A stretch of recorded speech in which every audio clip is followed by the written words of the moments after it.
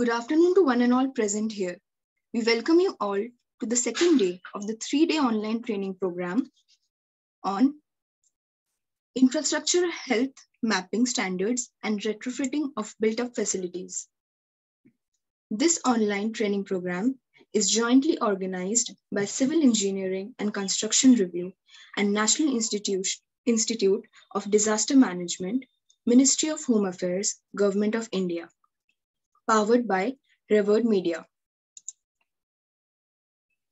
Welcoming our distinguished speakers for the day, Professor Chandan Ghosh, Professor and Head, Resilient Infrastructure Division, NIDM, Government of India, Dr. Bu Dr. Gopal Rai, Director, R&M International, Mr. Nitin S. Verma, Managing Partner, Aadhar Consultancy and Infrastructure, Mr. Ratish Jain, Managing Director, Resistoflex Group. Before we start with today's session, we would like to present a summary of Day 1 training program on infrastructure health mapping standards and retrofitting of build-up facilities.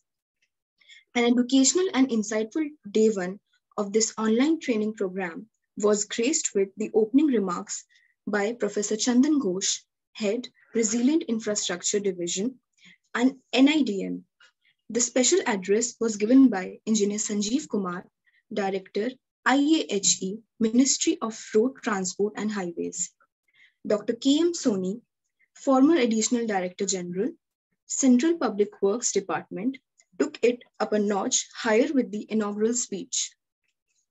The honorable panelist, Professor Chandan Ghosh, shared his detailed lecture on infrastructure health grading issues, and challenges. His presentation highlights were on various stages of building health checkup and mapping, facets of screening and testing, soft measures to avoid large scale damage, role of forensics in damage evolution, infrastructure report card by ASCE, large scale stimulation based on performance checking of buildings. The next honorable panelist, Dr. Vishwajit Bhattacharjee, Emeritus Professor, Department of Civil Engineering, IIT, New Delhi, shared his detailed lecture on health checkup of built-up concrete structures. His presentation highlights were on health checkup of the built-up concrete structures, damage and distress, service life and maintenance repair, exposure zones for service life prediction, our next honorable panelist, Mr. Manish Bharti, CEO, Cortex Construction Solutions Private Limited, shared his detailed lecture on online certification and assessment of building health. His presentation highlights were on structural adequacy and residual life analysis by non-destructive techniques, condition assessment through structural categorization, structural health assessment methods corrosion mechanism, Quick Savo app, dynamic load testing report. It was an exceptionally informative and a successful start to the three-day online training program.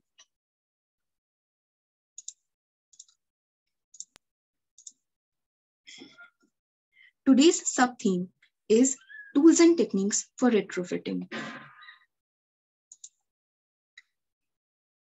If you wish to receive an e-certificate for attending this training program, kindly register yourself in NIDM's portal. Please visit training.nidm.gov.in. I am pinning this link in the chat box for your convenience. We now introduce our session coordinator, Professor Chandan Ghosh.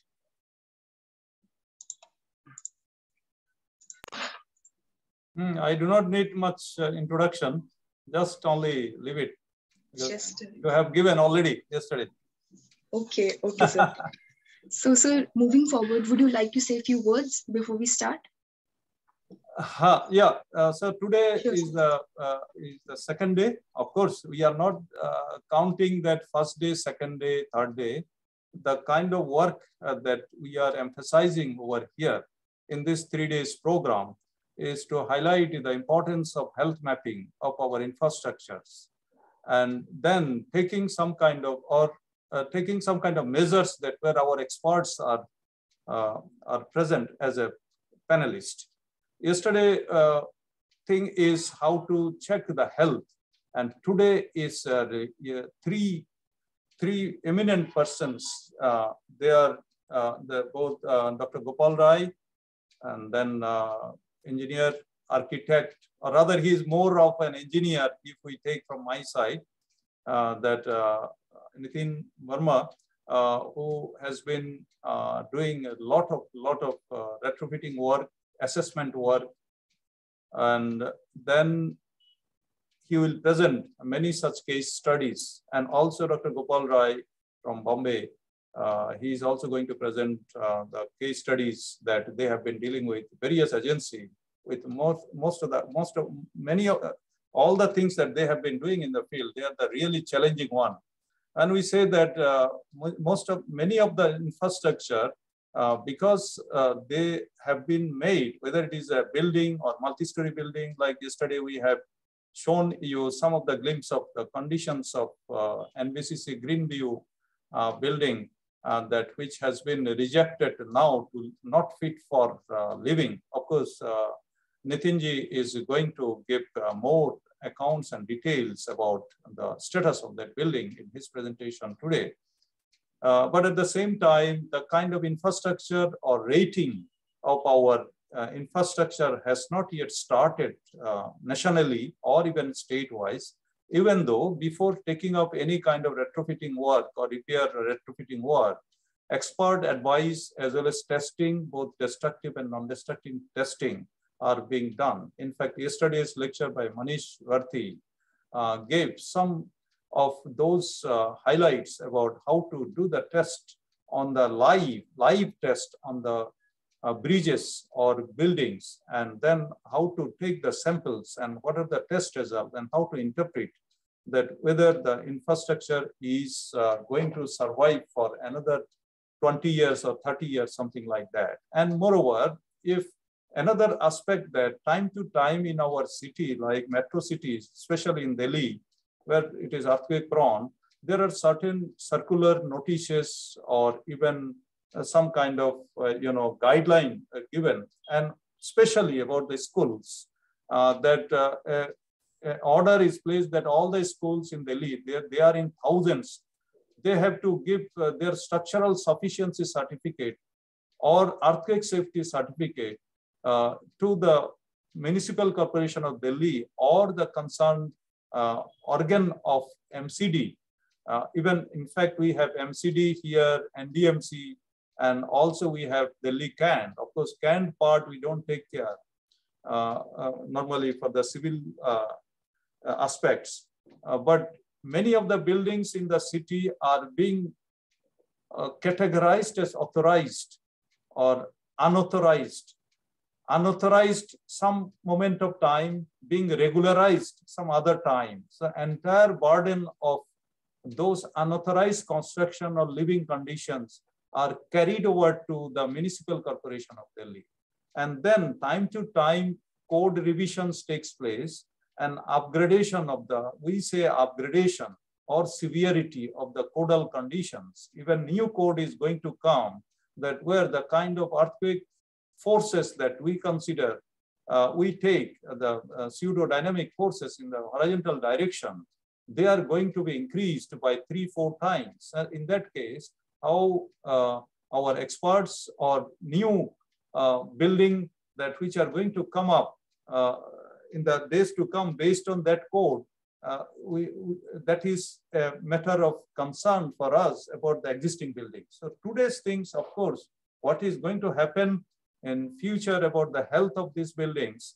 So today, uh, in fact, uh, number of cases will be taken up by two experts, especially Dr. Gopal Rai and uh, Mr. Architect Nitin Verma through their various work and project that they have been doing with the government, private, even embassy area, and even railways, and many, many such things are there, which you will see. And of course, there is one uh, presentation in the will be done on a in our sector two, Noida.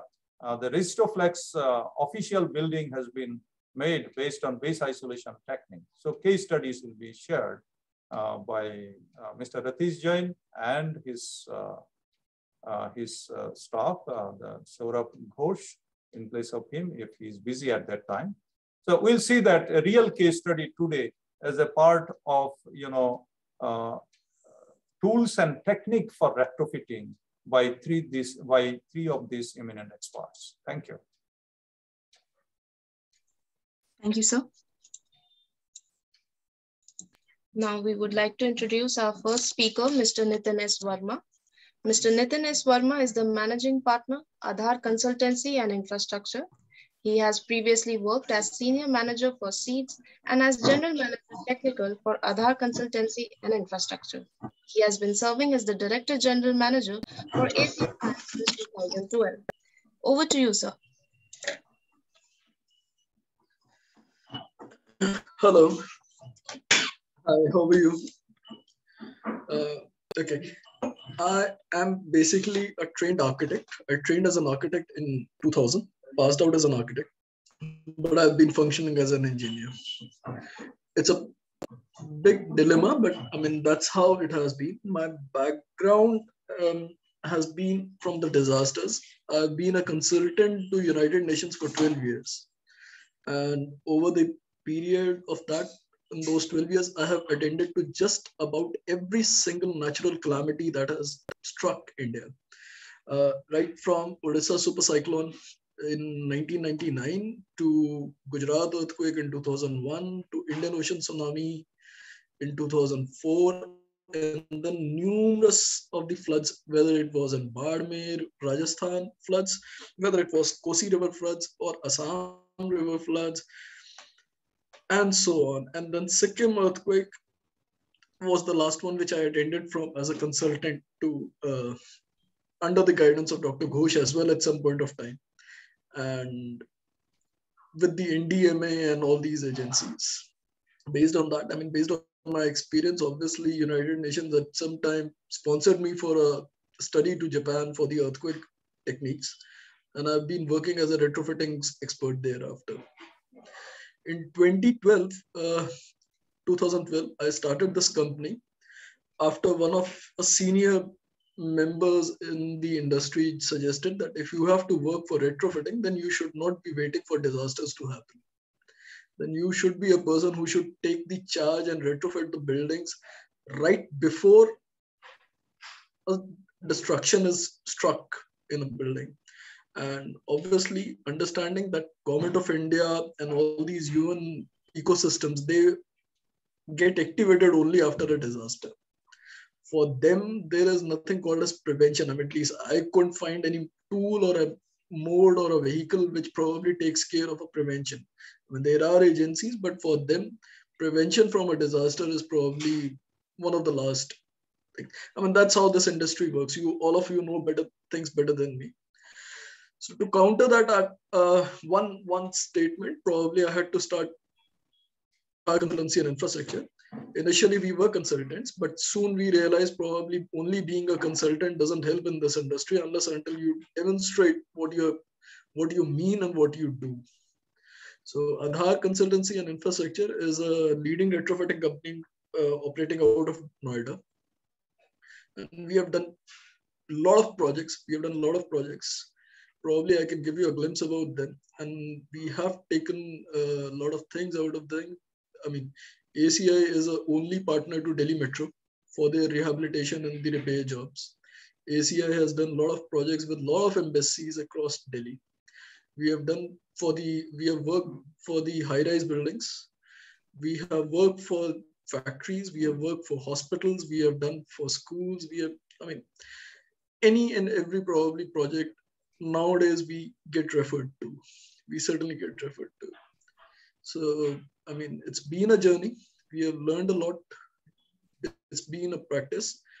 I'll just show you some glimpses of our work. Probably we can refer to. I mean, I'll try to show you the range of projects that we have done in last 10 years. And probably that may help you uh, to understand key, every single structural problem can be attended to. It can be corrected.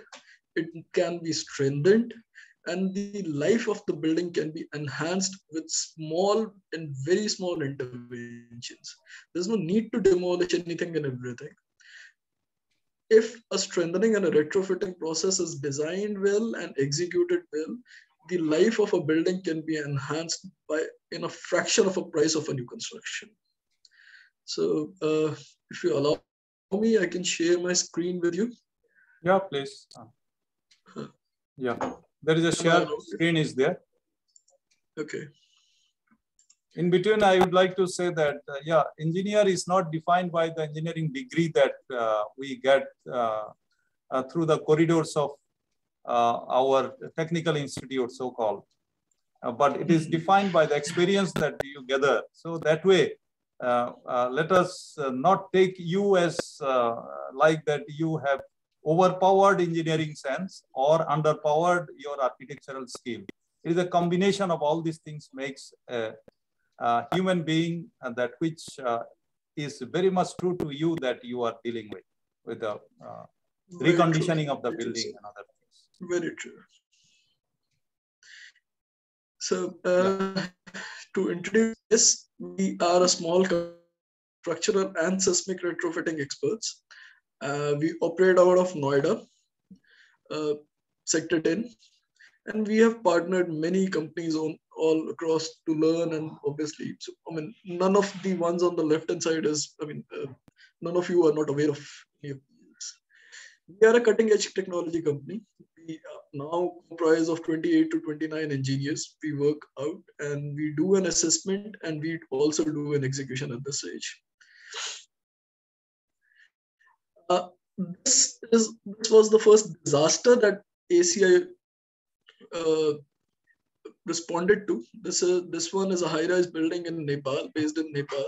Uh, it's a I mean it's a common building. They have they had two uh, high-rise projects which were destructed heavily during the 2015 earthquakes, and I mean all of us are aware that the 2015 earthquake strike was a dual strike in Nepal. I mean, there was a, a primary earthquake initially, which was some seven point something on the Richter, Richter scale, but it also had an aftershock, which was of equal strength, almost equal strength. So uh, the construction scenario in Nepal obviously is not very different to what we see all around ourselves in Delhi, NCR, and the joining of maybe Mumbai. I'm not very much aware of the Mumbai market, but uh, at least in the northern India, it's prime. It's very similar to what we have seen in Nepal. Uh, in fact, people from India go over there. I mean, the from India is shared in Nepal, and this is one image which I often portray to people. If it can, if it can happen in Nepal, it can happen in Delhi as well. It's not very difficult. I mean, Delhi, obviously, when I refer to Delhi as Delhi, I mean it's a NCR in the entire range. These ones come from the Sikkim earthquake 20, uh, 2012 Sikkim earthquake, which was September. Uh, typical sign of a buckling. This is more of a, a kind of a projects which probably we see in unauthorized colonies in Delhi. But this particular image comes from Sikkim again. again from Sikkim, look at the reinforcements on the left-hand side on the image number one, and the condition of the stirrups in the image number two. This comes back from Gujarat, soft story collapse. Uh, soft story collapse could be anyone, anywhere, but obviously a lot of things which we refer to and Dr. Ghosh will also explain again and again. These tilted parkings and the areas and the way it has been designed and constructed before 2005 amendments of the National Building Codes. I mean, if I have to say, particularly uh, the entire Dwarka region needs to be looked into something. From second, the image number two shows the shear of damage of a column on the left, uh, image number two. Going back to Nepal, uh, in the image number one, it's more of a non-structural damage, but on the image number two, if you can see on the upper floor, the second floor, the shear off of the beam from the uh, junction itself altogether. And this is how Delhi stands, the microzonation plan of the Delhi, which reads how the soils are and how they are expected to behave in case a major strike of an earthquake is to happen in Delhi. So coming to the main point, I mean, since my experience has been from the disasters and my experience and my knowledge and I mean, the way I have seen these disasters very closely, my entire outlook to the building industry changes immediately. I am not worried what is being designed, but I'm also at the same time, I'm more worried about the fact how it is going to be going to behave when it is actually going to be tested. Since I have seen destruction very closely, I mean, my UN stint gave me an opportunity. I mean, obviously being a first responder to the disasters from government of India side and UN side. I mean, I've worked very closely with Dr. Ghosh, obviously. Dr. Ghosh has been there in most of these disasters. But I mean, every time he would visit, we, I had been over there much before that. So uh, perspective of the industry changes when you know how destruction is going to strike and what is destruction going happen. So I will now explain you my perspective on the uh, on the weaknesses that we keep identifying in the construction. Most of our examples are from Delhi because that's where that's what is our area of operations largely. I'll take you to the infrastructure as well. I'll take you to the build, building scape, first through the building scape and then through the infrastructure, even the Delhi metro lines and all, everything. Uh, so should I take questions now or should we can keep, uh, I can keep going and probably can answer the questions later. So we'll take up the questions at the end. Okay, so shall I continue? Yes, sir, please. Uh, okay Firstly, the reasons for poor performance of the RC frame buildings is, I mean, I am no one to do all this. I mean, obviously all of you understand the, I mean, it's an inadequate design or a substandard quality of construction or a long period effect, a soft story. Even the soil conditions make an impact onto that. So all of these five points are the crux of the entire discussion. Uh, the way to judge is obviously this would be easily peeled. I mean, the visual inspection is the first easiest one. And is followed by the study of the drawings and the soil investigation, conducted analysis on a STAAD or a ETA model, designing the rehabilitation scheme. That's all. But now what I need to tell you is the distress. Retrofitting or a performance of a building begins with the identification of the, of the kind of distress. Why is it important? Obviously, it is important to understand that an earthquake forces are absolutely equal at every single node and every single part of the building. But what gets damaged is the one, is the part or a node or a section which is not strong enough to take that thing. And noted noted signs of distress is the first problem. If you have a distress, if you have a notings on the signs of distress, even the most sound design can fail. So recording, obviously strengthening and all those things. It begins with your visual uh, analysis only. And once you I have identified the weaker links, obviously those needs to be corrected immediately. So in this particular case, what you're looking at is the problem of the corrosion, where the corrosion has led to an extent that the reinforcement has uh, expanded. The expansion of the reinforcement size with due to corro uh, corrosion leads to cracks. And these cracks, obviously, whether it's image number one or image number two, these are vertical in line, very easily identifiable. Method to do it is remove that, break the concrete, whatever sound, clear this reinforcement, do your treatment for the corrosion, go ahead. In case you need to add or supplement the reinforcement, supplement the reinforcement, but you what you need is to pack it back with the same strength. Is there in the image number two. So I mean, effectively, you have identified that the corrosion is your da uh, damaging part and that corroded thing needs to be immediately covered. Obviously, simply re simple reason. Corrosion happens when the combination of there is a seepage and there is a air contact. So jacketing helps in that case. Now this particular, I mean, it's a very simply said, but then the same thing is jacketing has got different, there are many types of jacketing and each kind of a jacketing has its own pros and uh, own cons. I mean, you can do jacketing with means of concrete very easily, very simply, the same method, put the reinforcements back, make a reinfo uh, package, make a shuttering, and pour the concrete into it. Damaging part to that is obviously concrete additional porous will reduce uh, will uh, will consume your uh, surface area, the, uh, the the floor area.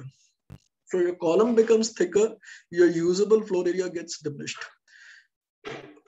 Advantage cost. It can be done very cheaply. At the same time, you are losing on the floor area cost. So your pickup will be a disadvantage. So now how to cut the disadvantage of the concrete jacketing? Or get let's get a section which is thinner. The thinner thing, you have to have more of a, a product which is more uh, impervious, which doesn't allow, which gives, which is higher on the M, uh, M value, and probably you can jacket it now by let's say say micro concrete. So section still gets enhanced, but not that much. Jitna concrete jacketing mein. So that's an advantage. At least some of it. I mean, you retain the advantages of the uh, concrete jacketing, but you uh, somehow minimize or I will reduce the disadvantages. But another disadvantage gets added, and that now is the higher cost value. So going ahead, these two things. But obviously, advantage with this uh, process of jacketing is you can use it anywhere. I mean, jacketing only for corrosion or repairs rehabilitation is possible, but the jacketing again for the extension of the load or a or a criteria where probably your design has been has been in shortfall. I mean, you can enhance the reinforcement, which probably might not have been there in the first place altogether. So jacketing can help you with either way. You can change, you can even change the shape of the column you have already casted. This particular example comes from Ara Chapra Bridge. We did this for, uh, I mean, under construction bridge. Uh, this was, I guess, in 2014 or 2015. This, would be the, this was the outcome of that. So you don't need to demolish anything, whatever, any, even a design correction can be done by means of jacketing. Obviously, in this case, it has been managed.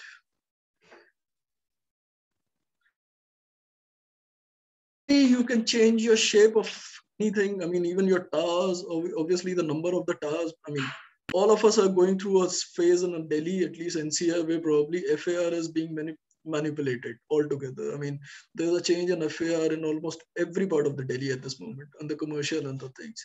So the uh, uh, things begin. Oh, you have to have. You can add more flows. Let's make more money out of it. Obviously, you can't do that but then, then that needs to be after taking care of the existing column structure, the frame structure. And that you have a frame or an initial load or an initial design, but with the additional load coming in, with the additional uh, flows being added, obviously it needs to be jacketed and it needs to be strengthened right from the foundation level. Similar exercises can be done for the beams. There's no problem with it. The reinforcement corrosion can be taken care of at the same time. We design things and all the problem, the section uh, section enhancement by means of a concrete can be done for the jacketing by means of jacketing for the beams as well. It's not limited to a column part, only to a vertical member, but can be done for the uh, horizontal members as well. And your heat design problem with the entire grids altogether can be taken care of. I mean, if you can see, there is a column, uh, steel column, which has been introduced as a uh, is a but then that's a problem with the section has been designed on an undersize, which creates cracks and all those things which are visible in the black one. So that can be corrected by means of jacketing. Second way to do it is that obviously uh, in the beams itself, at least you can introduce, you can reduce the span. By uh, you can reduce the span between the secondary beams or the primary beams or whichever. way. So if you can reduce the span, obviously the load onto the slab area reduces and the buckling and the change, it becomes it becomes fine to uh, deal with it if there case any sagging or anything is noted at any place. Add another member. In this particular case, steel has been used because the advantage with the steel is it's very quick to be done. But the same uh, process can actually by, be done by means of insertion of a concrete beam as well we are at doing that at the moment with the modern school in Barakhamba Road, where the spans are being reduced by means of concrete uh, insertion of a concrete beam in between the slabs. Same can be done in the outer walls of the beams as well.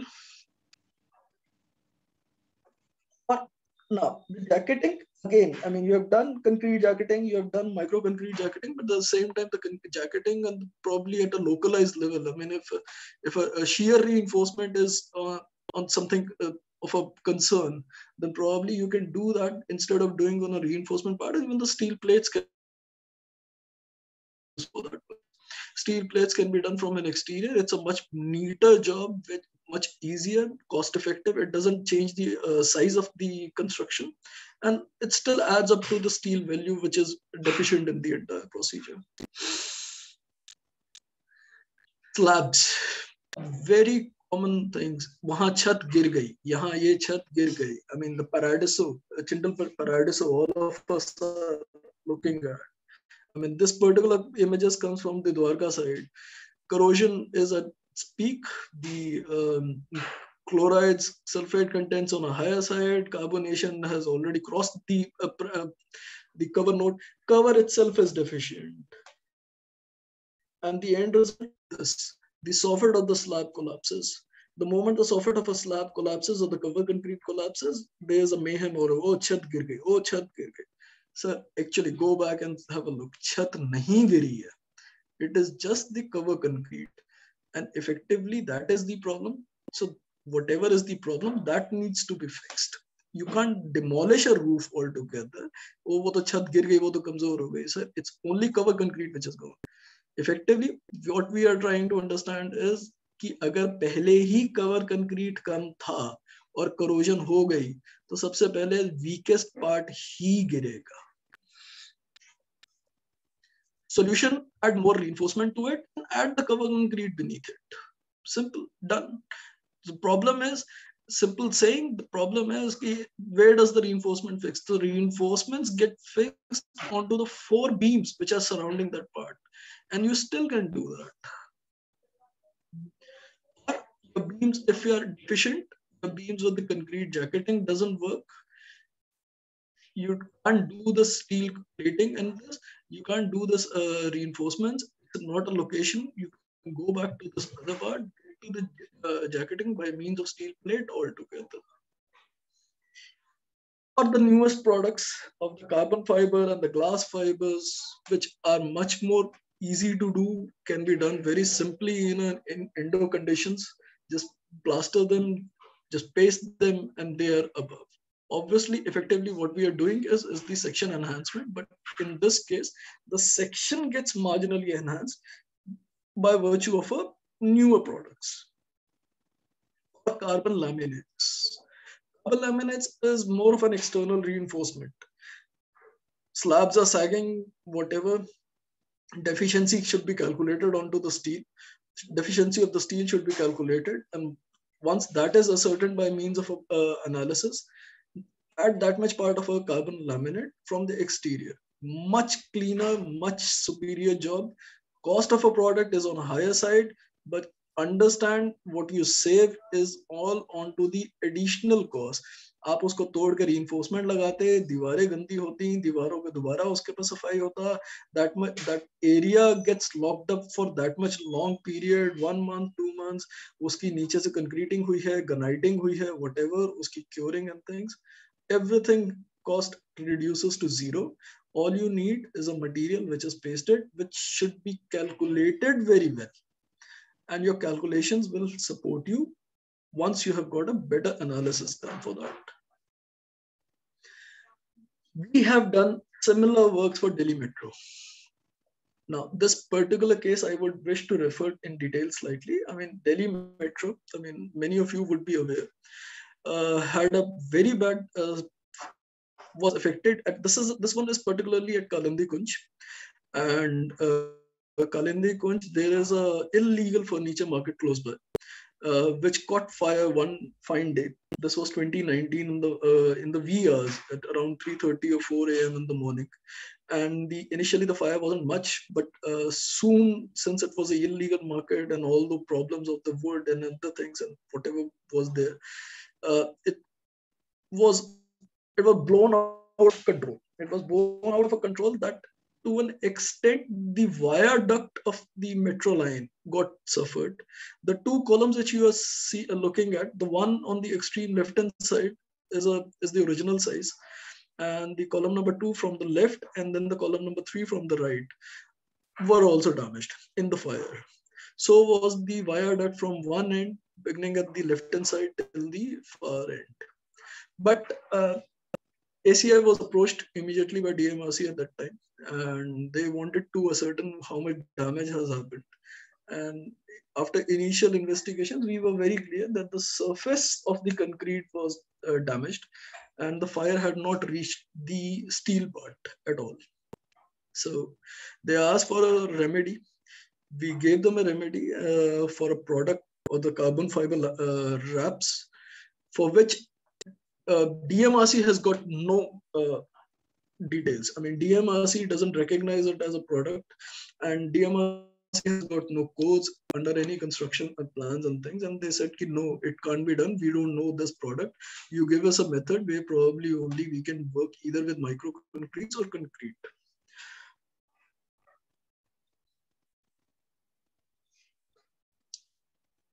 We said, okay, for the concrete part, if you're so uh, um, bent upon, it's okay. You can design it with the concrete for the columns part. But for the viaduct, we would still wish you to look at the newer products. And obviously, if they are not there in the codes and the uh, construction manuals, we probably can help you get to that level. It took some doing, but I was able to convince the highest management and this project had been completed. We were given very stringent rules to deal with. Obviously, uh, the loads, um, there had to be a pre, uh, pre-doing of this uh, uh, load test had to be done. Benchmarks were to be followed.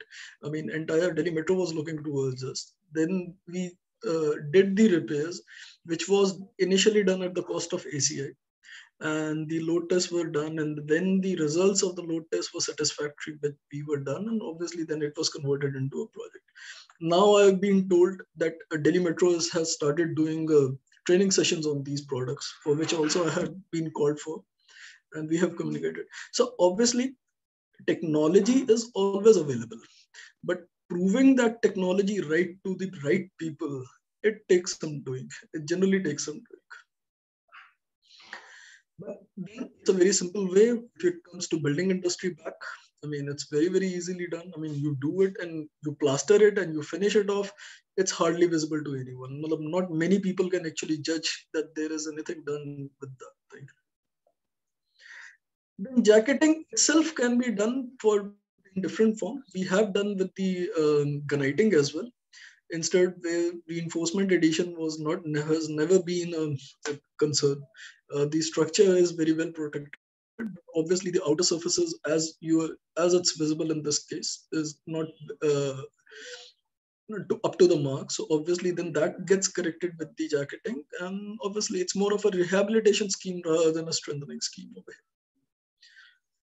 here. That's a guniting again. This again is a factory building which fire, which caught fire and I had a heavy damage. Obviously, this the strengthening over here has been done by means of guniting. Guniting, obviously, instead of pouring a concrete, we are throwing it with power and it gets started. So it's the same technologies which are very easily available, but we are using them in a. I mean, the choice of the technology becomes an uh, becomes an exercise in in retrofitting actually we have done ACIA, I mean, ACIA has done, I mean, uh, construction of support structures where probably we cannot help the existing structure. I mean, so far, whatever experiences you saw were primarily for the buildings where probably uh, we were dealing with the existing structure. But certain locations, we also have to provide a support structure exterior. I mean, this comes from Embassy of Switzerland, where we the task given to us by the government of Switzerland was to tie the whole embassy building with the bedrock. So they wanted a seismic guarantee, and the only methodology that was uh, that was narrated to the embassy by the Swiss departments of engineering was that to tie the whole Switzerland embassy to the bedrock. Now, bed, if you are, uh, I mean, many of you who are from Delhi would understand these embassy area in Delhi is in Chanakyapuri, which also is a part of a ridge. And the in the ridge, the bedrock is uh, at places it's very shallow, and at places it's very deep. So we asked for a, uh, when we were approached, when ACI was approached, uh, they had asked us, keep, uh, you tell us how would you tie it up with the, the bedrock? And my answer was simply, so give me a soil report the moment you give me a soil report, I'll be able to tell how we should be going about it. And the and they said we don't have a soil report together. Uh, but our consultants in back in Switzerland have asked us to do this exercise, and they have said ki either it can be done by means of piles, or you can do it by uh, micro piles, or whatever, whatever you have to suggest. I said, we would also design anything for you, leave alone execute it. I said, they said, come back with us and probably. We did attempt a, uh, wanted to attempt for a soil report and the engineers again came back, oh, we don't have that time. The uh, There's a visit by certain officials from the Switzerland in November so-and-so year and the embassy has to be absolutely fine. You have got as many as 72 days to do that for the entire building. This is what we came up. Instead of doing any pile, micropile or whatever, we actually did the ex excavation and we found out probably we can work with the anchors. We can work with the rock anchors. And based on that rock anchors, executed the rock anchors, made up the foundations, designed the foundations, and got the shear walls constructed in a actually working embassy that helped tying the entire building, the existing building of the embassy, tied to the bedrock. And this one particular project really helped me. I mean, I was facilitated by the ambassador of Switzerland after this project. And they came up and said, we didn't know there's such techniques and such expertise is available in India. We always went upon, probably will have to call our teams from Switzerland to get this thing done, who actually had visited and were clueless how to get these things.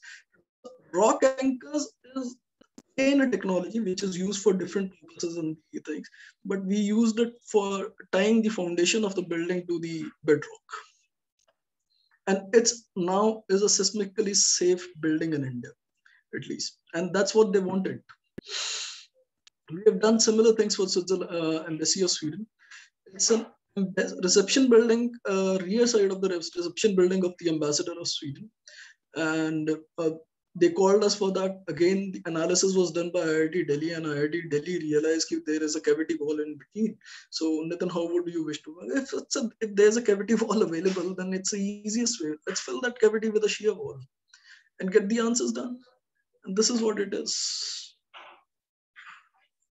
We've done in the same things in high rise. I mean, the balconies where the cantilever beams and all those things are a problem. Extend a thing without going into a FAR problem, get the analysis, get a steel column out, get a steel column out and support the beams, and you don't lose anything. Neither the space nor with the, uh, you don't have to go and fight the authorities about anything, and you still get your uh, desired results. Again, rock anchors in uh, function. This is uh, IMS school in Dehradun. The school had been constructed on a retention wall. The retention wall's design was counterfort wall and the counterfort wall ka construction the contractor had been very smart. He reversed the reinforcements. While the main reinforcement has to be onto the inner side and a counterfort, the main reinforcement in this particular case was on the outside.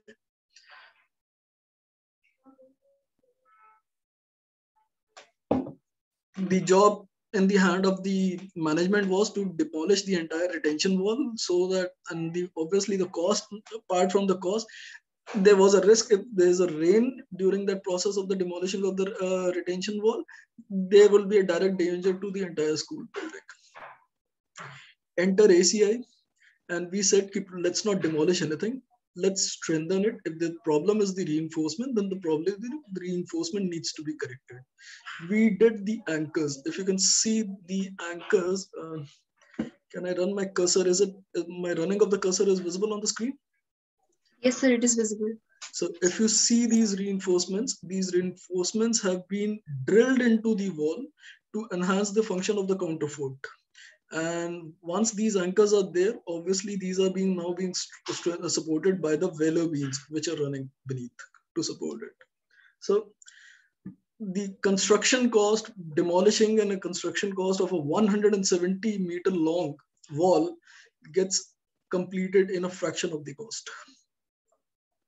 That's drilling in process, anchoring in process. If you can see my cursor running, that's a 32 mm bar, which is being now coming at.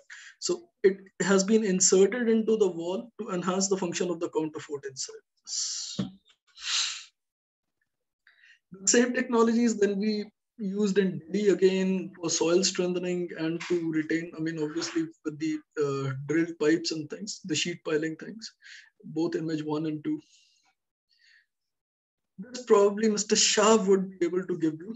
Uh, we are in touch with him for a project nowadays in school where we have now, I mean, after strengthening the school by means of all the distress and the concrete members, we are working with the Taylor devices at this moment to do a uh, to do the uh, execution of the dampers, viscous uh, uh viscous dampers. Again, that would be the only school building in Delhi that would be earthquake proof, if I if I can say. Mr. Shah is a part to that project. Uh, do I have time? Or have I eaten in the some other presentations? I can go on and on. I mean, I've got a list of projects that I can support. Sir, actually, it's time now for the next presentation. If you can do it in a short file, it's okay, but uh, we need to move forward. Okay, I'll just quickly run through this. please. Yeah. So, I mean, the minor repairs, obviously epoxy injections. I mean, very simple. Then these epoxy injection any level. The soil strengthening by means of injections and the cement injections. Demolition, again, Dehradun needs to be done in a very controlled manner and at very selective places. That's the strengthening. I mean, now it's an engine. Uh, I mean, seismically safe uh, strengthening of non-engineered buildings. Uh, this is Shimla, where we were we have been adding uh, the bands, the seismic bands, both horizontal and vertical, by on a brickwork. And if I can show you a detail, I mean, in the image number one on the top, if you can see onto the left-hand side top corner, you can see we have added reinforcement on the exterior side. On the image number two in the same, the two reinforcements have been bound. In the image number three on the left-hand side bottom, you can see a brick wall being converted to a shear wall. And on the image number four, a brickwork now being converted with a column at the corner of it again. So the reinforcement additions and the tying is a skill. The moment once this is achieved, you can just put a shuttering and pour concrete to that, which ties the entire building, effectively bringing in bands wherever necessary, like the cement. And ACI, I started this after working with 13 years for these post-disaster recovery uh, for school, hospitals, and things. And I mean, the challenge was if you have to work for retrofitting and strengthening, then it needs to be done before a strike of an earthquake. Now we are 10 years old. I still remain as a co-founder and managing partner the way I was originally. And been doing a lot of things, a lot of people have been supporting. IDM, Dr. Ghosh, obviously, yes, has been a part of my journey. He has seen us very closely. We have learned a lot from him. And I just, I mean, he keeps asking me to share my experiences with all of you. Why I'm here to do that. We have worked with Delhi Metro, IGNCA, MECON, BMTPC, NHAI, and government agencies. We have done for World Bank, WHOs, embassies of Sweden, Switzerland, Brazil, Germany, France, a lot of them. We have worked with corporates, Coca-Cola, Airtel, Unison. Uh, we have done with Novotels, we have done with Coromandel, we have done with a lot of people.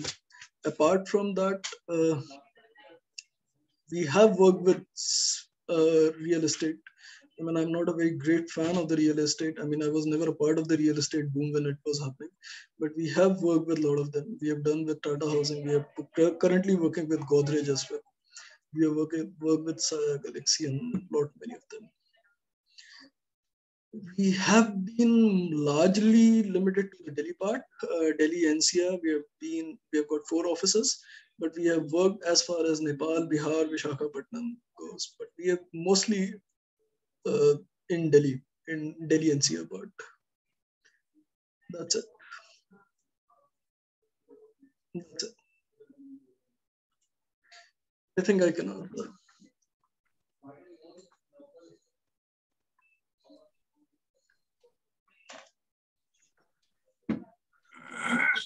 Thank you, sir, for your insightful presentation. National Institute of Disaster Management and Civil Engineering and Construction Review presents Certificate of Appreciation to, Dr. Mr. Nitin S. Verma. During the eh, for the expert lecture on tools and techniques for retrofitting structures during the three days online training program on infrastructure health mapping standards and retrofitting of built-up facilities in 23rd to 25th February 2022. Thank you. Now we would like to introduce our next speaker for the day, Dr. Gopal Rai.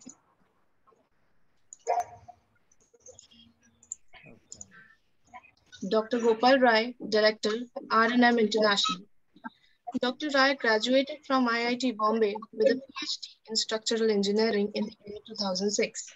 He has published over 50 high-quality research papers and has participated in more than 400 national and international conferences.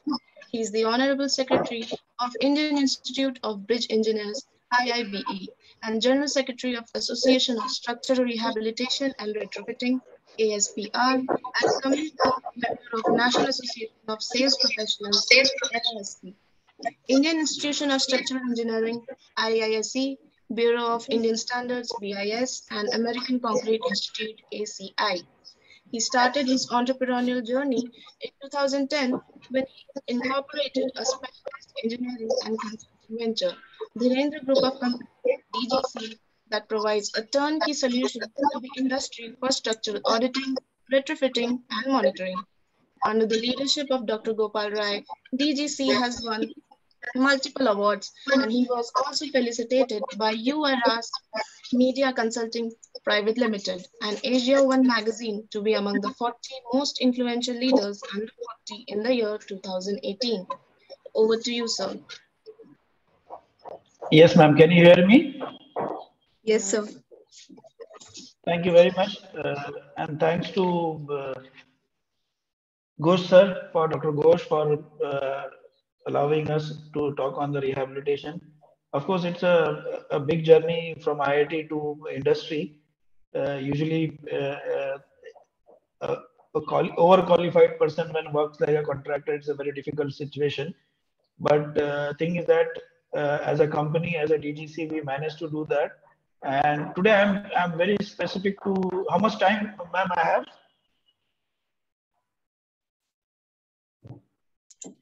Ma'am, how much time I have? 30 minutes, 25 okay. minutes. Okay, so let me, I think my previous speaker, Mr. Verma has already explained a lot of things on the uh, retrofitting and rehabilitation and very good case studies he has covered. And it was a lively case study. Thank you, Mr. Verma, for uh, sharing that part. Let me go to the uh, specific to the projects. Okay, because all these methods has been already uh, explained to you. Only advantage of disadvantage of fiber wrapping and steel plating and things are there. With one picture you can understand uh, what is the advantage in this. Like the minimum uh, people can uh, go with the can you see my slides? Yes sir so minimum actually the steel plating you require so much heavy and laminating in the laminating also we have option of prestressed laminates and non-prestressed laminates in fact, uh, being a part of PhD from IIT Bombay, during that uh, uh, we have uh, developed a technique of prestressing of this carbon laminate. In fact, in last 12 years, we have done 70 bridges. Indian, uh, Indian Railway, NHAI, and a lot of private bridges also uh, with the prestressed carbon laminate. Let me go to the specific to the case study. What we are as a as a bridge engineer, as a maintenance, this is a problem. The bridges which are older in 30 years now are coming for the rehabilitation. Although we designed for a bridges 30 years back for a 50 years, but now major bridges are coming for the aging problem or because of the overloading. Okay, so these are the and the bridges which are uh, the condition which is built in 2006 and 2016 and 2026 a lot of overloading and deterioration problems are coming in last 50 years. I'm going to one of the case study. This is a Muzaffarpur bridge, which is in uh, Bihar.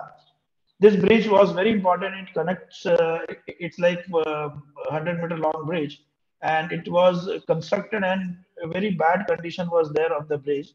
So before we go to the, let me show you the photograph of the, the case study. Although we have done a thorough analysis of this and IIT yeah these are the condition of the bridge. And uh, this is the typical a new bridge okay? There was no problem with the contractor. Let me tell you very upfront there is a no contractor contractor problem was not there. The design the bars were so heavily congested that there is no space for a concrete and this bridge after inaugurating or after starting within the three month four month it has been stopped and because of this bridge, the the the two the two uh, you can say the states were connecting. Otherwise, now they have to travel up to almost uh, 55 kilometer and then come away to the same path.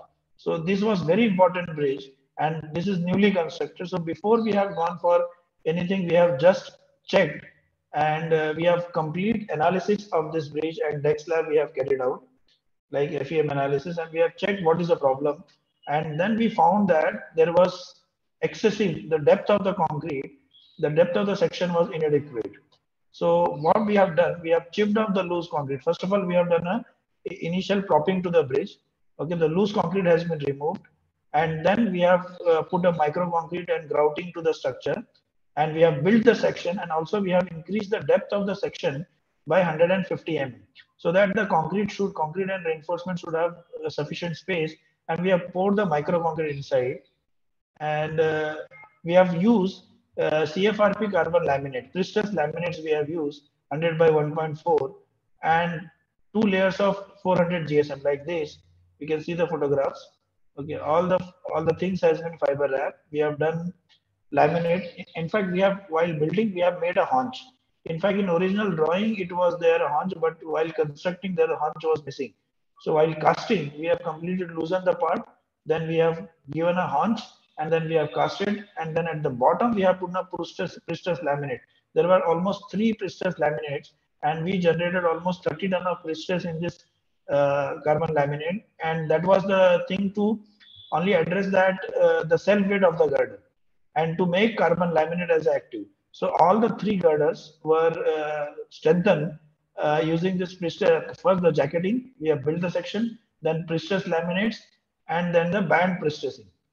This was the fiber wrap, which was again a prestress. So we have uplifted, almost there was a major settlement to the structure. So we have uplifted, and then we have done a load test also. In fact, in 2020, uh, this is almost a two-year-old bridge, uh, means two year when we have constructed, and we have heavily loaded the bridge, and we found that earlier the permissible deflection was going uh, beyond the limit of the bridge, almost 60, 70%. But after strengthening and processing what we found it is within the permissible as, per the IRC norms. And the bridge was opened in somewhere around September 2020. Until this is uh, the second year, uh, there is absolutely no cracks and nothing will be there. This is Muzaffarpur Pusa and Samastipur Road. Okay, this was tested part and there was absolutely no problem with the the self weight what we imparted and uh, during the construction only we have taken 15 days uh, to do the rehabilitation of this bridge. And on 16th day 17th day we have done a testing. In fact all the instrumentation uh, and we have followed all the irc special 30 37 all the norms and the minimum recovery uh, uh, things and it was loaded heavily with the trucks as per the as per the class aa bridge and it has been reported and then we have started part. This was one of the case study of the bridge. Now let me go to the what is as our title of the, the, the conference and webinar says the monitoring. In fact, first time in last uh, 12 years, I have I've seen the advantage of uh, monitoring and live monitoring. This was the Prabhat Dairy at Nasik. This is a huge building and huge uh, milk production units are there. And they do the processing of milk unit. And they have a skeleton like steel uh, the concrete structures. One of the audit one of the structural consultant who has done audit i don't want to take the name. In fact two people were there. And they have simply seen the structure and they have given uh, done the analysis. And then come, uh, they simply say that uh, this is the rehabilitation scheme and the client has to spend 20 crore rupees on the rehabilitation. So when i i personally when i visited nasik this plant and I see that there was, uh, as this is industrial building, so we cannot compare it completely like a residential or commercial building. So it is a complete uh, a frame structure. So what we have checked, apart from doing analysis, we have put the sensors, the natural frequency, we have the deflection sensor, the strain elongation sensors. You can see all this. Uh, this is the wireless sensors we have put, and we were trying to find out during the uh, when when the plant is running, which is the area which is weaker and showing the the difference in the natural frequency of the structure. In fact, we have uh, we have not. Uh, in fact, some impact impact we have done during the uh, natural frequency recording and all. And after that, we have seen that the, the the the what frequency the structure is, and then we are trying to make all the corner up to that so that we can give additional stiffness and uh, we can impart the retrofitting scheme. So these are the sensors we have installed and we have taken the help of Novis, one of the Singapore company who supplies the uh, instrumentation to us. And Dr. Prashant Motwani was involved uh, from, from Singapore uh, for uh, doing this project. And they, we have put the sensors in odd locations. And then what we found, out of 100% of the building, only uh, one third or 40% of the building was badly distressed. Otherwise, the whole building was intact. And then we have given a scheme of rehabilitation for that structure. Like you can see that there was a wireless sensor. In fact, we have monitored for more than 15 days in a running plant where, where the zone is poor and where the zone is bad. So this is the a complete setup. The side we put a sensor, we have a server, and then we take the data from the server to the or where you're in office or you're in resident, you take all the data and you can run the data, you can see the data and 100 hours non-stop continuous uninterrupted monitoring system we have done with the help of Novis, okay, the sensor system. And we saved almost when it, the project cost was 20 crore. And after this, we have given a rehabilitation scheme for less than five to six crore rupees. Okay. So this is the benefit. This is what uh, the inclinometer, then 3D accelerometer, then strain sensor, the gateway and the crack meter is all at different locations we have put so that we can actually analyze where the distress and how the frame structure is behaving. In fact, we have put the tiltometer whether there is a deflection or there is a twist in the the frame structure or not. So all these sensors we have rigorously for almost 15 days and we have taken all the data and then finally we have put into the uh, the model.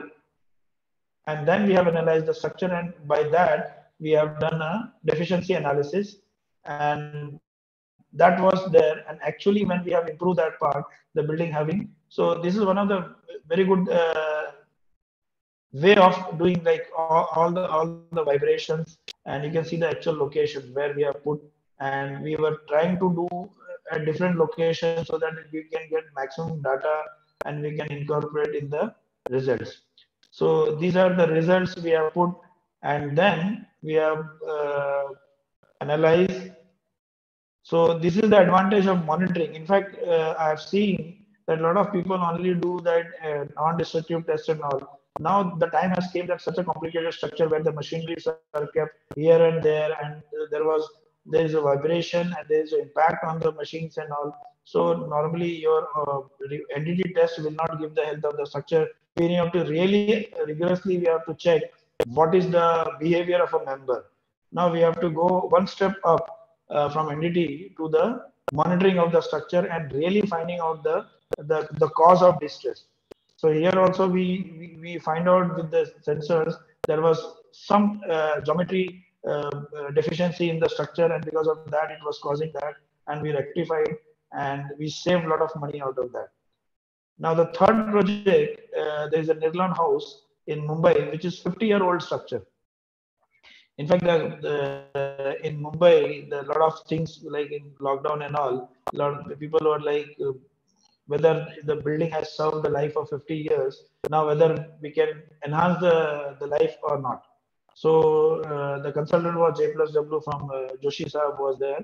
And uh, because of uh, with his guidance and support okay we we done this structure and we have done the complete jacketing and complete rehabilitation. It, it was the first i think uh, india the first flat slab structure has been uh, constructed. And this is a purely a commercial building and a lot of this all, all, the repair technique like grouting and we have removed the plaster we have done uh, grouting and then we have if uh, any anything is there we have done a repair and proper jacketing has been carried out what i think mr verma has explained the complete treatment okay the jacking of the building was very important so that we from foundation we have done then micro concrete at the critical locations we have carried out and almost in eight or nine months okay then uh, this is the actually area where the the flat slab and the the, the the, the cap is there the slab cap is there. And this is what we have done a rehabilitation with the fiber wrap and all. So the columns has been rehabilitation uh, the outer column has been rehabilitated using jacketing and the inner column where the offices space are there we have gone for a fiber wrapping. So it is a combination of jacketing and fiber wrapping and the slabs were strengthened with the carbon laminates. And we say seven, eight month, we have completely restored the structure. And uh, in fact, the cost, the client was little worried. What is the cost of rehabilitation and what will be the warranty of the structure? So we told that after this rehabilitation, you can go for another 15 years, provided every five years you have to do the structural audit. And uh, the cost of rehabilitation was 6 crore if they could have gone for a, a redevelopment and all this for the same premises same space they could have spent almost 90 or 95 crores so with a smaller amount they could have saved the structure and they could have run the part i think uh, in today's scenario there are there, there will be a combination of retrofitting and monitoring so we need to be like whatever we rehabilitation we do, we should monitor so that we can safeguard the, the structures. For a lot of railway bridges and all this we have done, although I'm not presenting because of short of time. Okay, so I think uh, I'm through, sir.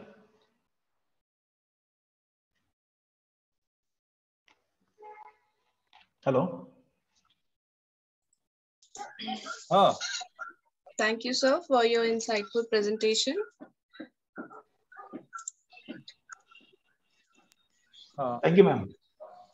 In fact, it is a really, really very, very, very work that you take up and then the service that you provide and with the authority that you have uh, and the experience that you have gathered, uh, taking rather, you know, you know, in, in health science also, there are cancerous things are there, no? Cancer stage one, two, three.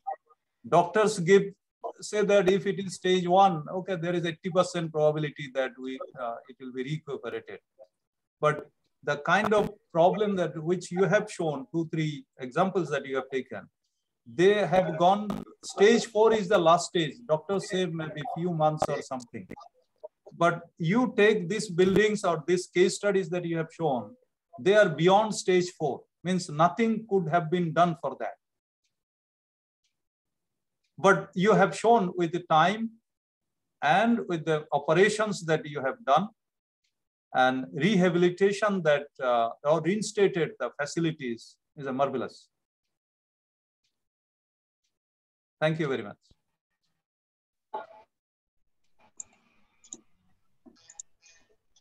National Institute of Disaster Management and Civil Engineering and Construction Review presents Certificate of Appreciation to Dr. Gopal Rai for the expert lecture on rehabilitation of infrastructure as nation building during the three days online training program on infrastructure health mapping standards and retrofitting of built up facilities from 23rd to 25th February 2022.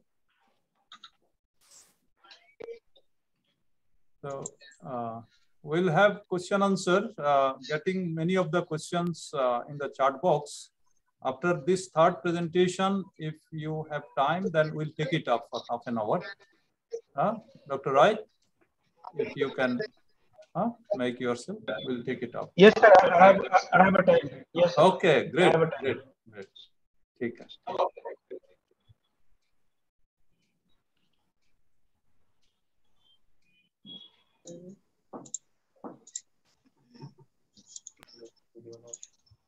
An announcement to all participants. If you want to share your thoughts on any of the points raised by our speakers in today's presentation, please raise your hand and we will include you in our panel discussion when we begin.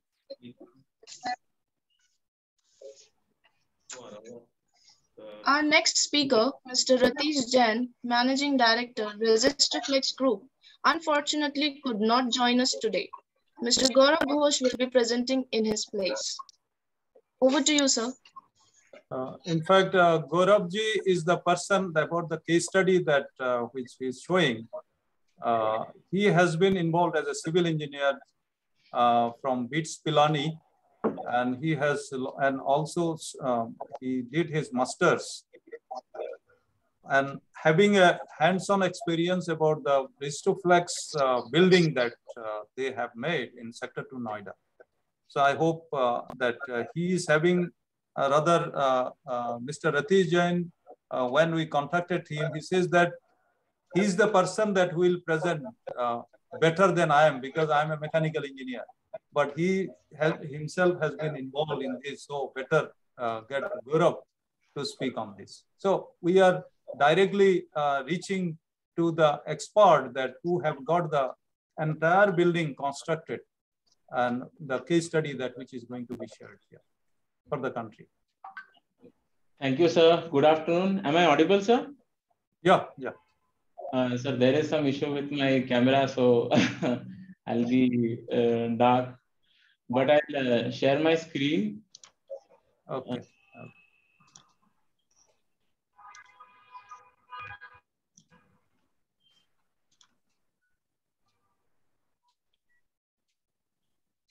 Uh, is my screen visible? Yeah, yeah. yeah yes, sir. Um, so like, uh, thank you, sir, for the warm introduction. Uh, I'll be basically uh, talking about our showcase building and also my construction and experience in that. Plus, uh, since the topic is about retrofitting, so touch up those aspects also. So just a very brief introduction about our company. Uh, our name stands for Resisting Forces Flexibly. And uh, we have four plants uh, in and around Noida. Uh, we are basically manufacturing shock and vibration mounts, base isolation system. Uh, so now I'll move over to uh, this is our Greater Noida plant. So before I begin, I just wanted one slide. Uh, it's like a very uh, formal introduction about base isolation. Most of you will be well acquainted with this. So basically what we do in base isolation is we are uh, uh decoupling the superstructure from the substructure. That's a very crude way of representing this because uh, uh, we are basically not allowing the forces of the earthquake to you know being transmitted into the superstructure. We ensure that all the damage and the dissipation is happening at one single isolation level. So nothing is actually handed over to the structure to take care.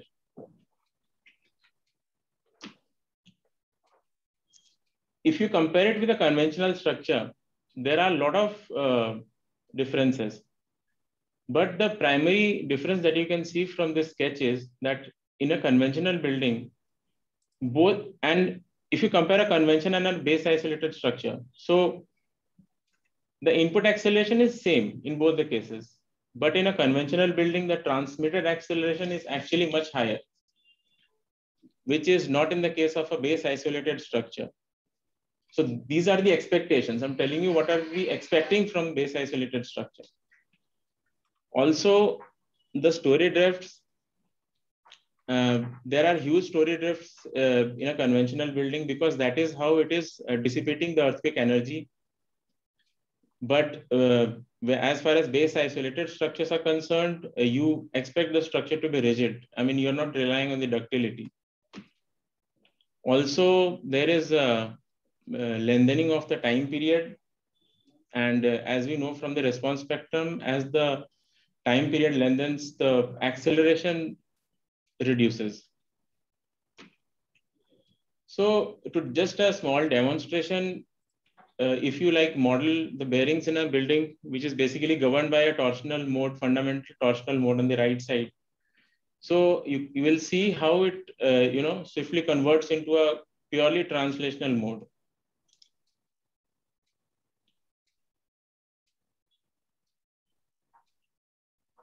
So the torsional mode is uh, anyway considered to be very uh, disastrous for all the buildings.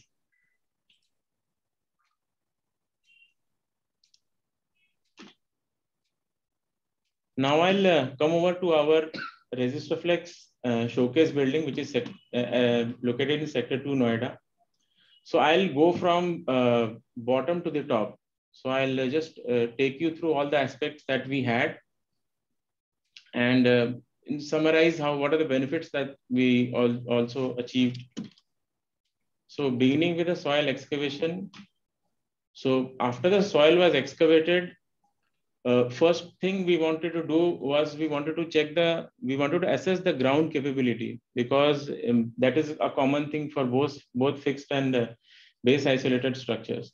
So we wanted the, we wanted to check the stability of the ground. Uh, and uh, Dr. Chandan Ghosh, he himself had uh, had been a part of this. So after the uh, ground was checked, it was found out that it was not the capacity was not enough. So we had um, so we jointly decided that we should do micropiling and to you know increase the bearing capacity. So the micropiling was done and the grid systems are marked and accordingly micropiling was done. And we, we could have a better bearing capacity, which ensured that uh, there is no differential settlement because uh, it is very disastrous for uh, conventional building also. But in a base isolated building, you cannot just have to, I mean, differential settlement because uh, as I'll show you in the later pictures, uh, that if there is a level difference between two bearings, so I mean, the whole purpose becomes void. So after the foundation was casted, uh, the next and the most important part was the bearing installation and leveling. Uh, like I said before, the leveling was very important part. Uh, all the isolators have to be uh, very carefully uh, measured and I mean, the levels have to be very carefully measured for their correct functioning and uh, very strict supervision is required. So these pictures are showing you how the bearings were placed. So the columns were uh, casted up to the uh, desired height and the pockets were left upon which uh, friction pendulums were put. I mean, in this pictures that Dr. Vasant Matsagar, he had, even he had been a part of this project. Uh, this entire project has been done in collaboration with IIT Delhi. So these pockets were later filled with epoxy grout. And you see in these pictures, the local contractor, since, I mean, you can, uh, you can be there for installation of one bearing or maximum two. But if the numbers are huge, you, you cannot be there for all the uh, bearings. So you have to train the local uh, contractors. So they are trained how they have to check the levels and how to do the grouting. So in this picture, you see all the uh, isolators have been placed.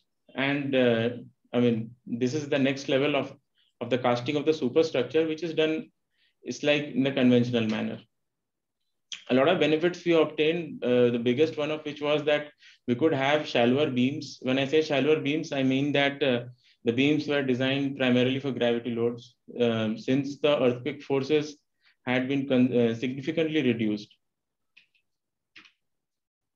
Um, also, we could uh, get approval for an additional floor in our structure uh, since we could uh, establish in front of authorities that uh, our structure was much better performing in case of a seismic event. This is the final uh, structure that is as of today. And uh, I'm talking to you from the second floor of this building. This building has been equipped with 15 double concave friction pendulum isolators. Two of them are very, uh, a, a, little bit special. The, the color, uh, the ones with the blue color so they have a special uh, fuse mechanism. Uh, so these uh, bearings ensure that if, I mean, the maximum displacement capability is 105 and 105, approximately 210, 212 millimeter displacement it can allow. That is as per zone 4 MCE, okay? And uh, if in case there is a, a additional requirement or if the displacement capacity is, is exceeded. So these fuse bearings will help uh, that the bearings don't you know topple and the structure stays in place. So a general question which is asked at this point is that if the bearings are going to exceed the travel capacity, uh, how do you feel safe? Uh, so uh, the simple answer is that if there is a zone 4 MCE uh, earthquake uh, I can at least guarantee that the building will stay in place and the occupants won't die. Uh, but uh, the, the entire neighborhood will be a graveyard by then. Um, the, the pendulum bearings which have been put in this structure. So the total displacement capacity is 212 millimeter. So far, I was showing you the uh, how we uh, constructed the structure from bottom to top. We also performed the nonlinear analysis. That is a very important part as far as base isolated structures are concerned. And uh, that is actually my duty here. Uh, I designed the isolation system and uh, I then incorporate these bearings into the structure. And uh, I have to check the dynamic response of the building because it changes significantly. And that is how you ensure that uh, the key parameters like uh, like I like I showed you in the beginning. Uh, I'm expecting that the acceleration is not trans not being transmitted. How are you going to ascertain that? And uh, the there are no failures in any elements, right? So those things can be ensured only using uh, analytical models. Um, so this is the ETABS file um, of our showcase building, and isolators are placed at this level so three different type of analysis are there. You can choose which one you want. Generally, if the building is very small uh, of a low height, so ASCE says you cannot, you need not do any dynamic analysis, but it's always prudent that you do the dynamic analysis. So there are three lateral, uh, equivalent lateral force procedure, response uh, spectrum, and response history.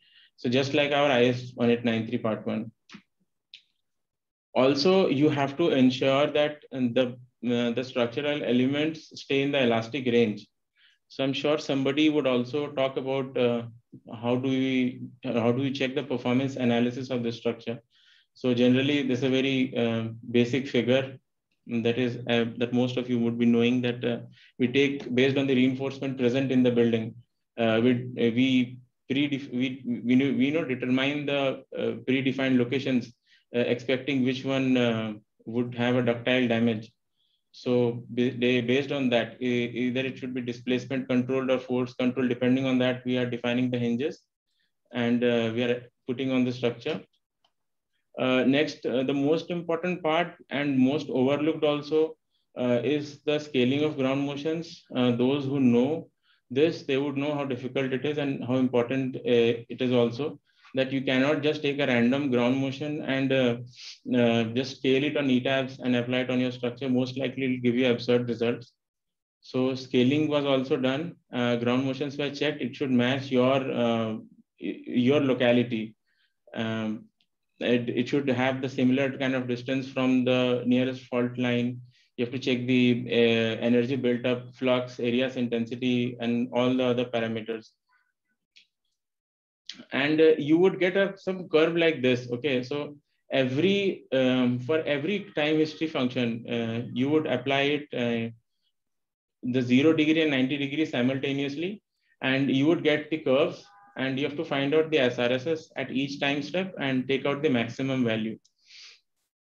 So for all the ground motions as per ASE, we did it uh, as per ASCE, So it tells you seven pairs so for all the seven pairs, uh, the SRSS value was determined. And uh, we, uh, I mean, for X uh, direction, Y direction, and this is the 218 millimeter. This is the total worst deflection that can that can ever happen in the in the bearings. So these kind of uh, results and uh, assurance can only be given to you by uh, a proper dynamic analysis. Uh, once the hinge, this is the once uh, a kind of picture that you would get after nonlinear analysis is performed. So these green dots generally tell you that uh, is your structure in the elastic range or not. The key takeaways from this nonlinear analysis that we had was that we we could uh, we ascertain the safety of the base isolation system. We could find out what was the final displacement. We could check the hysteresis loop of the link elements. And the most important part was that the performance objective of the superstructure and the, I mean, which is ascertained by the state of hinges. So it's like, it's not like for like in our uh, static analysis or in general uh, terminology, we say the building is will work just okay, or will not work like uh, it not be okay. So it's, it's not no more words. So you can crunch down to the actual numbers. So you can talk in terms of numbers that whether or not the performance will be uh, adequate or not.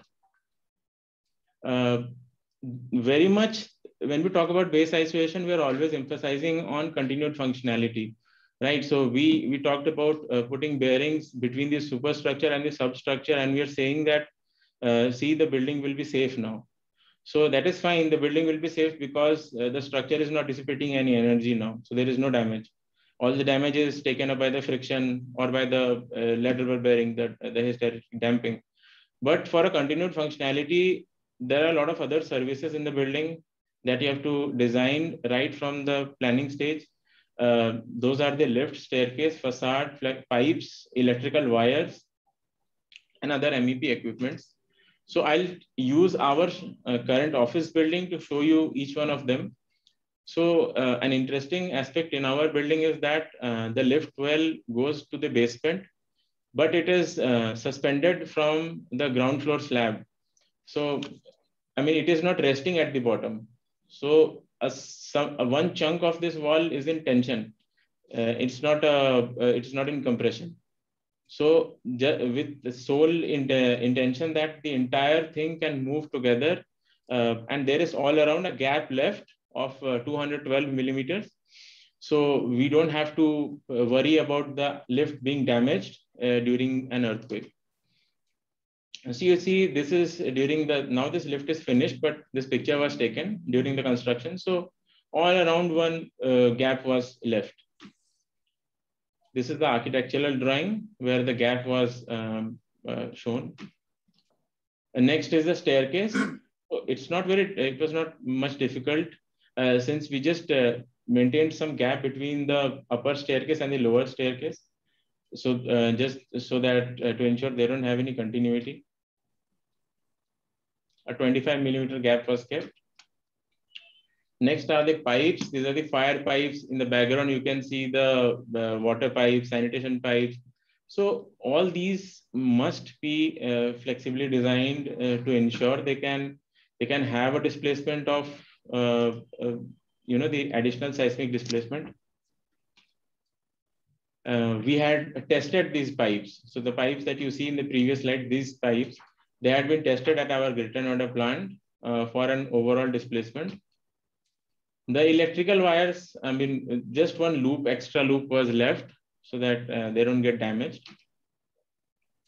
All the electrical panels in our structure, in our showcase building, they have been, uh, I mean, these are not uh, anything related to isolation, but I mean, even you have to take care of these. Uh, these are very costly electrical panels and they tend to topple the first and if they fall, uh, the bill which will come will be like uh, 20 times the cost of these towers. Uh, we have made a, a, small animation video of our showcase building, which shows uh, all the, even in the earthquake forces and our bearings in action. I just, I'll just show it to you.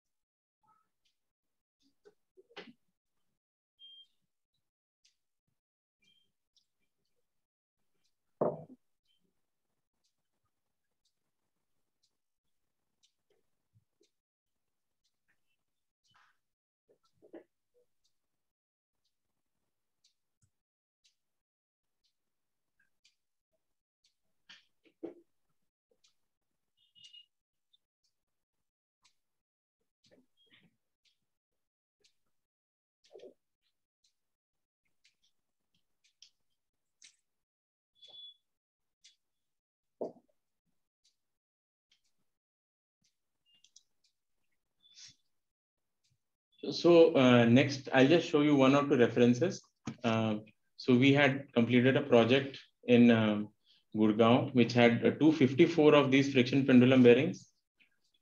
So here also the bearings were placed at upper basement. So one problem was that since the bearing were placed at on the top of these columns, there was almost five to six meter tall column. So we were having noticing a lot of displacement below the bearings.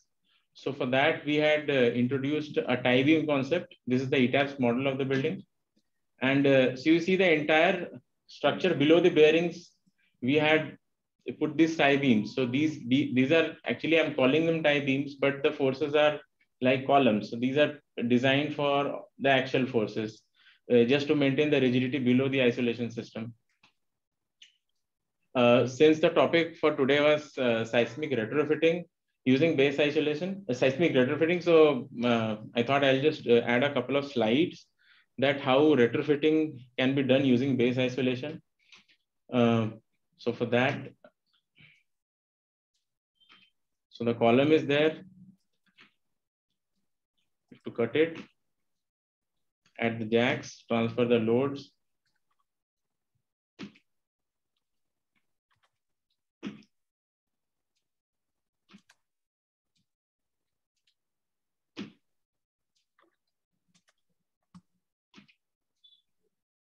So that was the like kind of an animation. This is a real life project which was uh, retrofitted using base isolation.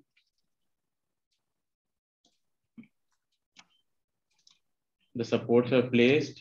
Um, in this case, the beams are also stressed. And uh, see, the jacks are placed. So we have to go one uh, column at a time. You have to ensure that uh, only one column is being uh, cut and that loads are temporarily transferred. Uh, depends on the kind of column. Here the diamond wire saw has been used. So the cut is completed now. So the isolator is now being placed. And one by one, all the isolators are placed and this is the job almost completed.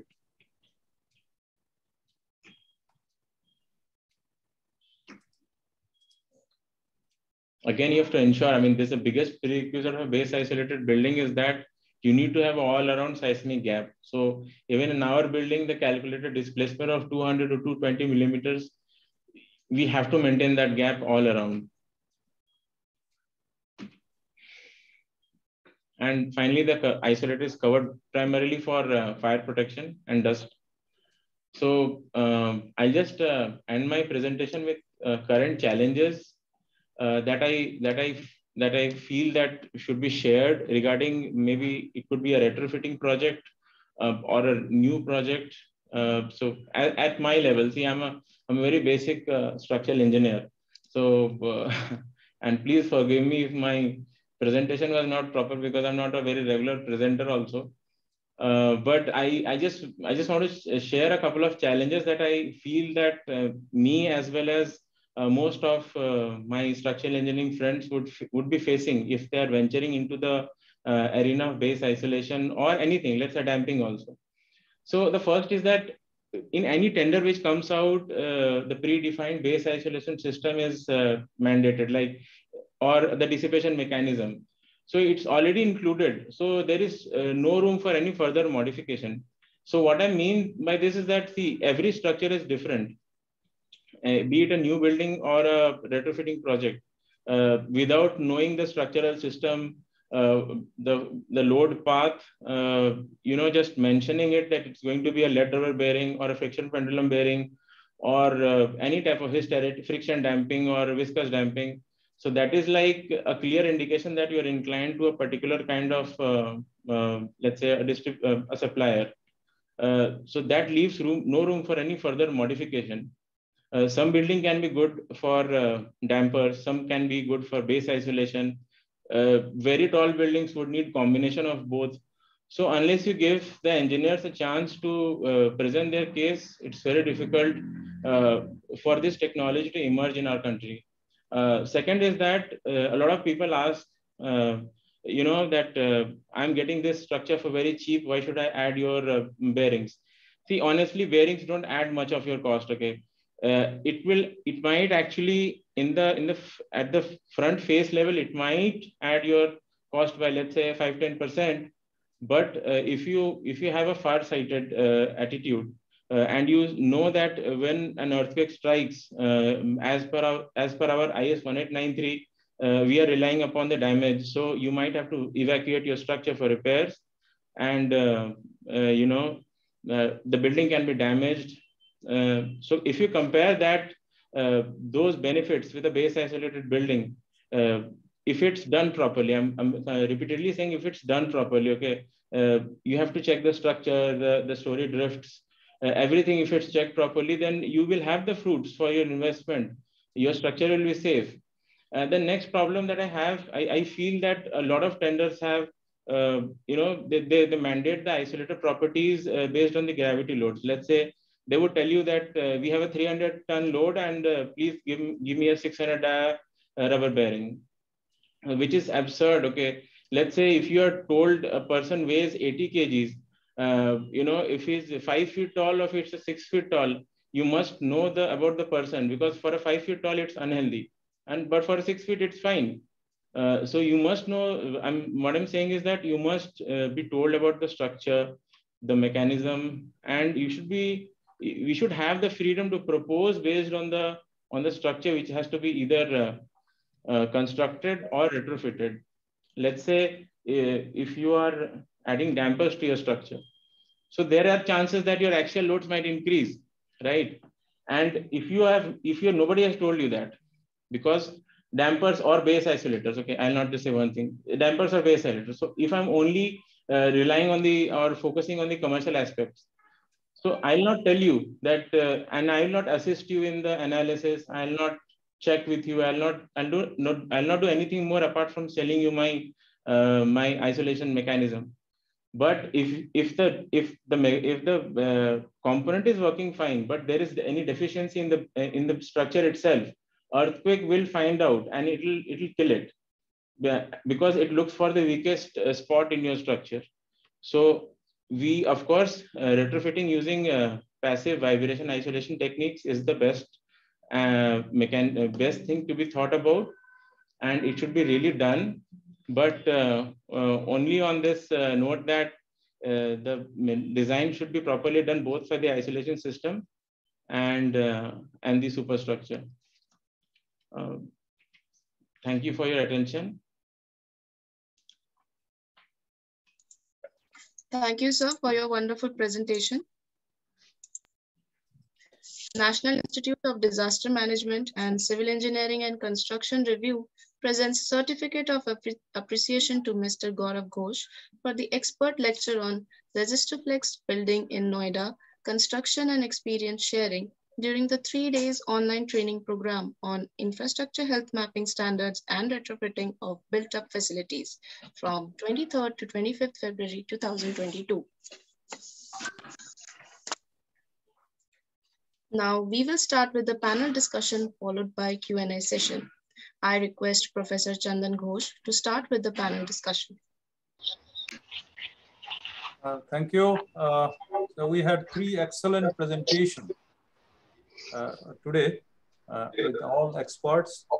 And the last presentation made by uh, Gaurav uh, Ghosh uh, from Resistoflex uh, is testimony to the um, to the base isolation pendulum system that which is a showcase building that they have made.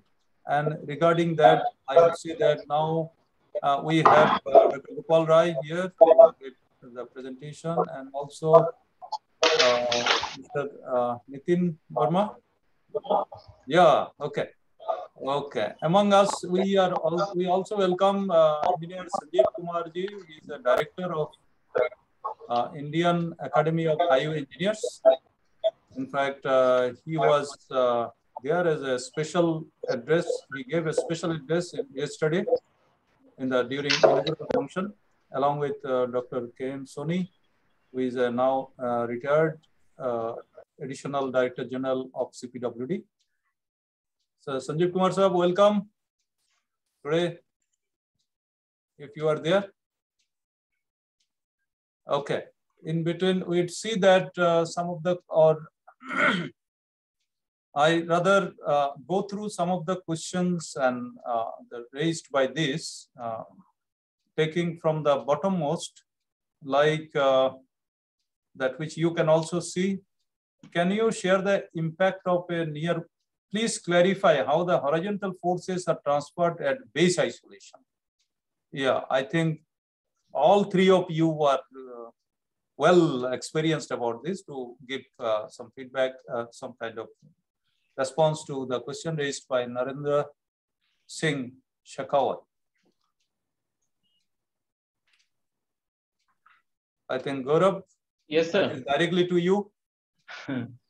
Sir, the horizontal forces, uh, how they are transferred at base isolation, I would rather say that uh, uh, how the how when a ground shakes, so it uh, so a lot of energy is imparted on the structure. So the primary function of uh, the isolator devices, I mean, with their own mechanism, they are just absorbing absorbing it.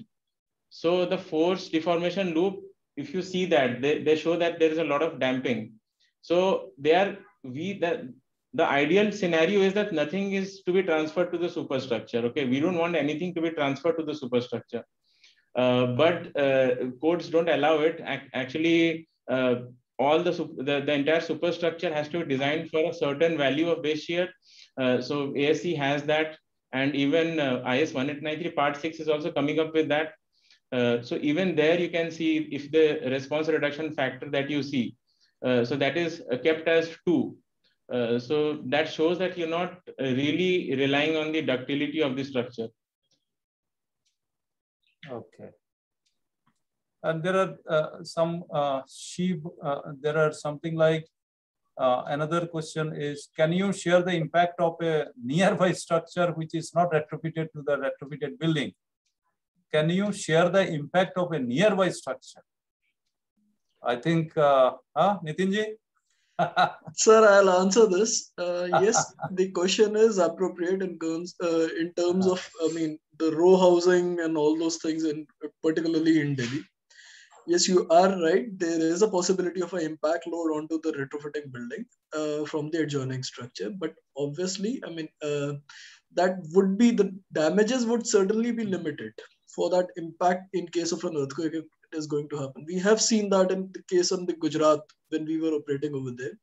The many of the strong buildings had to face damages from the adjoining structures. That's right. That's possible. That's certainly possible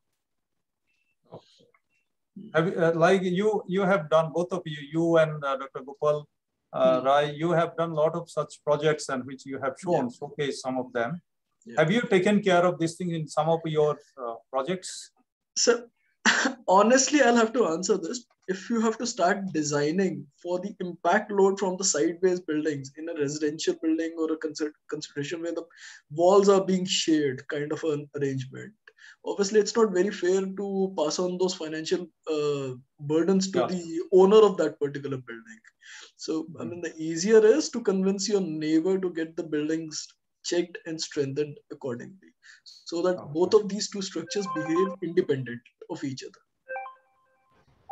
it's a valid question it's a certainly a valid question yeah yeah because these days you know things are happening now it is not only earthquake we have to look after multi-hazard. Multi-hazard stuff.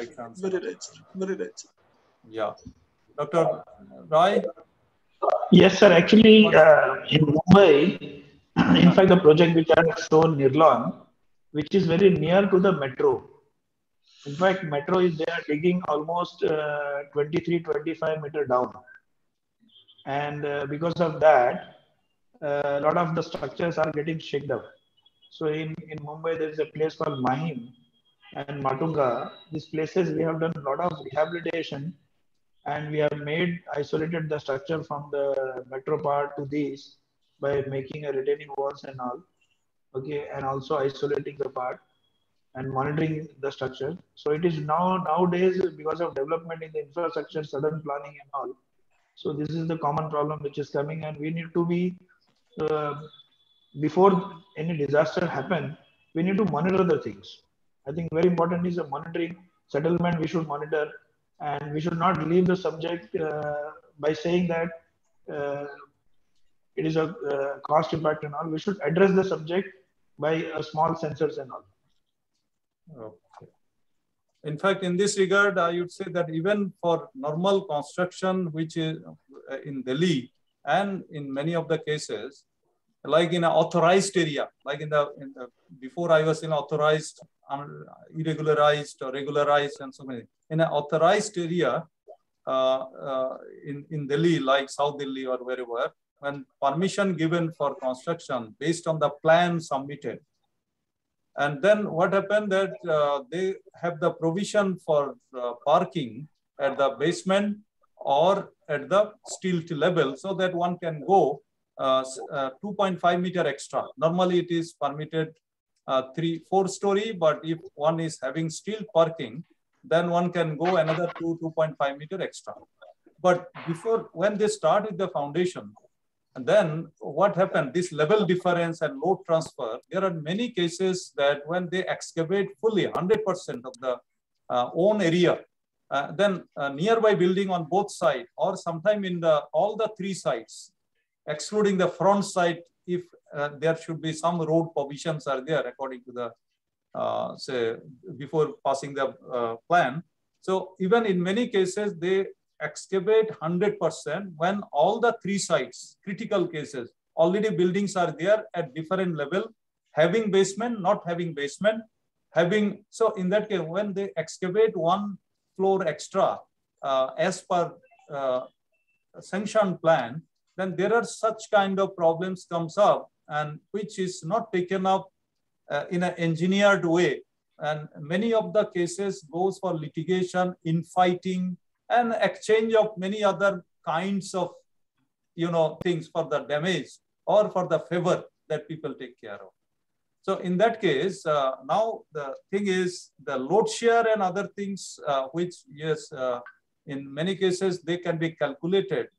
Uh, but in such cases where sanction plans are there and constructions are taking care, uh, constructions taking care of very critical conditions about the level of the B side, means on the left side, right side, or uh, or in the in the back side, uh, then many such uh, field problem arise. I think you may be having many experience, both of you.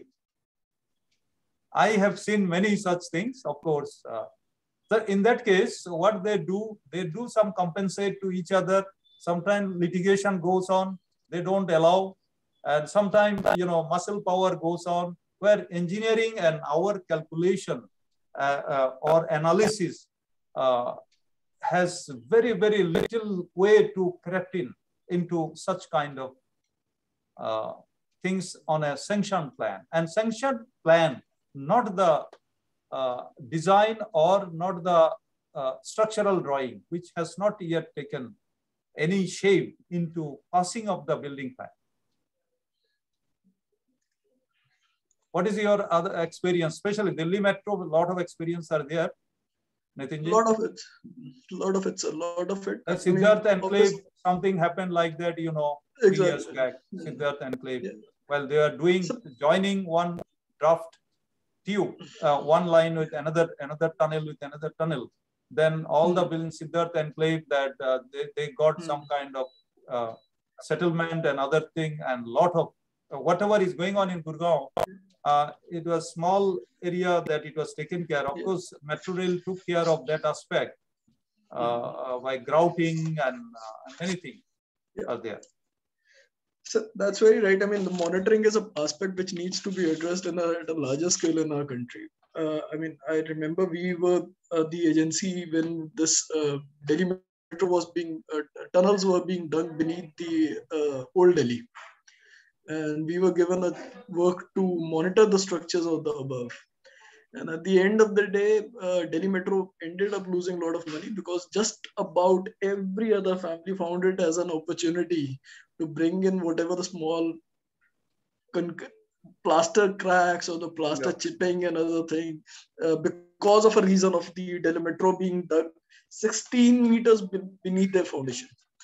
So, I mean, yes, that is the irony of our mean, but okay, let's, I, I guess we should move on to the other topic. Let's not get into this. yeah. Let's let's get to the better part. let's okay. get to Okay. Yeah, uh, we, we know this thing. How, uh, one question is, uh, uh are there any base isolation system for zone 5 hilly region residential load bearing building construction retrofitting? It is a question by Rajneet Rawat. In fact, uh, I would like to say that uh, yes, there is, whenever earthquake zone is there, mm. uh, whether it is zone 5 or zone 4, we generally prefer in zone 5, zone 4, which are critical. And base isolated fitting, in fact, IIT uh, Guwahati has developed a base isolation system and they have made number of such applications of that, even in Arunachal and Guwahati. And even there are some live, I think Dr. Gopal Rai must be knowing about that. Uh, their structural engineering group uh, that uh, in uh, IIT Guwahati, uh, they have made many showcase building also in the north, uh, in that part. So yeah, as far as technology is concerned, yes, yeah, yeah. Yeah, Professor Deb is there who look after the health monitoring part. In fact, they have built G plus three structure, okay, yeah. a frame structure and it is almost nine years back and that structure has been kept on base isolation. And almost uh, two earthquake has came up to a Richter scale of 4.7 and 5.2 and that structure has been never subjected to uh, any any kind of distress and all. A live earthquake has been came and uh, that complete frame structure is as it is what is. And now nowadays they have started with the carbon fiber wrap base isolators so now it is gone into the new, new era of composite base, composite base isolators. So a lot of research has been done by Professor Deb, and uh, he's extensively working. He's right now working on the new construction building where Latur Hospital has been done, mm-hmm. and then in, uh, now nowadays there, there are a lot of temples. They are uh, archaeological survey of India. In in uh, Simla, they are trying to uh, put in an old structure the base isolation. They have started with the specifications only worry is when how to lift it, how to jack up, and then how to insert it. So that is the challenging part, and very few contractors are available to do that. Although in a bridges, a lot of people are there, but in building structure, how to cut the structure and how to lift it, that mechanism is still pending. I think for that, yes, uh, Nitinji is here, uh, Gopalji is here, and there are uh, we have to make uh, more and more such uh, uh expertise not that expertise, we need uh, many, uh, we, we, need their uh, help as well as the expertise that they are carrying for the last 10, 10 years plus. Maybe uh, very useful. Yeah. Can I answer this? I mean, yeah. I'm, I'm, sorry, I missed the name of the person. I mean, who was speaking before. Ah, yeah, I also missed uh, who. Is it? Hello. Uh, hello. In, Okay. Can you please name yourself?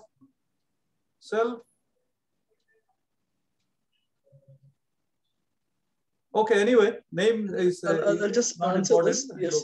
I mean, generally. when it comes to, I mean, uh, seismic safety and seismic uh, thing, I mean, uh, base isolation obviously is not the only process. I mean, there's something called as installation of dampers. I mean, yes, you are right. I mean, uh, base isolation helps, at, uh, but uh, by our experience, base isolation in a new building is a very good procedure to go at. For the retrofitting of an existing structures, I mean, what we have learned by practice is the dampers works well. Uh, I mean, we are currently working on a retrofitting project in Delhi. I refer to it as a modern school. I mean, and we are designing and we are executing damp installation of dampers. It's much more easier. It's less damaging. You don't have to cut many columns out of it. I mean, you obviously will have to work with whatever systems are existingly available. So yes, I mean, base isolation, eh, by my opinion, is a very good procedure if you are in a designing stage. And obviously, the advantage it immediately offers, which was very evident in Mr. Uh, Ghosh's presentation, uh, Mr. Gaurav Ghosh's presentation, that if you design a building with base isolation, you save a lot of cost on the superstructure cost. Yeah. I mean, obviously, you can cut down onto your dead loads and you can save onto that by inserting a base isolator into a building, I mean, obviously you have already uh, invested onto a heavy structure and then you are cutting that structure, adding more problems and inserting a base isolator, you are not gaining anything out of it. So in terms of retrofitting, our exam, our experience simply speaks, dampers work much better and designing a damper as per these uh, specifications, as per the conditions of a building, whether it's a school, whether it's a hospital, whether it's a residential, it's much more easier and it's much more easier to retrofit and execute at a very cost effective level. If I have answered the question. Yeah. Dr. Rai? Sir, some of our attendees have raised their hands. Mr. Okay. Surendra Singh and Rupanita Chatterjee. Okay. If you allow okay. me, I can move them into the panel. Uh, uh, yeah, please uh, put them in the panel. And just in fact, uh, just let me quickly go through uh, how do we certify the buildings you retrofit? How do you certify the buildings that you retrofit? Yeah, I think both of you can uh, answer this quickly. How do we certify? In fact, first, it, it is a basically, if the building is older structure that we have to analyze. And ideally, in, in the German country and all these places, they do the model analysis and residual life analysis. So the structure before they put a sensors and all, then after retrofitting, they put a sensor and all, and then they rate the building that this is the, the building has been uh, out of 100%, this is 70% has been recovered back. And this is the rating system they follow uh, in, in the, in fact, in uh, in Singapore also a lot of rating system has been done. And this is, they monitor and then before and after retrofitting they give and they check the the, the structure behavior and all. So this is one way, although in India, the practice is uh, the, the, the certification is purely on the consultant uh, recommendation and all. So it is all, all, all the gut feeling and the experience goes, but nothing has been recorded and all. Yeah, yeah, yeah. In fact, uh, the very theme of this uh, three day session is on rating our infrastructure, health checking, and then tools and technique of retrofitting as one of that. And then finally, uh, it is of performance of retrofitted facilities. So tomorrow we'll have four presentations on this performance uh, of retrofitted facilities you will see, our participants will see more such uh, insight into this. And also, uh, one thing is, uh, uh I think, oh, something like Lakshmi Ganesh, I think base isolation itself, isolating the structure, no forces must be transferred to the superstructure. superstructure. As it is allowing displacement, no reactions will be developed. Uh, it is, do you say, uh, Gaurav, uh, would you like to just uh, uh, clear out this whatever is being said? Uh, basically, the forces um, develop in the structural elements because of the interstory drifts. So, long story short, no drifts, no forces. So, ma'am is right. Yes, this is what I was saying that we are ensuring that it is confined in one isolation layer. Okay. Yeah. So now we have two more. Uh, okay, Surendra Singh and also, yeah, you may please speak out, uh, Mr. Singh. Your questions, or you can write here. Am I audible, sir? Yeah, yeah, yeah. Yes. Welcome, welcome. Sir. Okay. Good afternoon, sir. We want to see you. Okay. Your video. Video. Yeah. I... Is it? Start video. Okay. Okay. Otherwise, uh, go on. Go on. You're asking to any of the uh, panelists. Uh, my question is, uh, what is the certification uh, for the thermal power plant? Is it a building occupancy certificate or something like that? So you are from Tata Consult. You are yes. working for the Tata Consultancy, isn't it? Yes, I'm working for the TCE, Tata Consulting Engineers Limited. Huh. So uh, what do you uh, mean by certification? Before we hand over the building, the certification is required. Mm -hmm. Then what type of certification is required for that?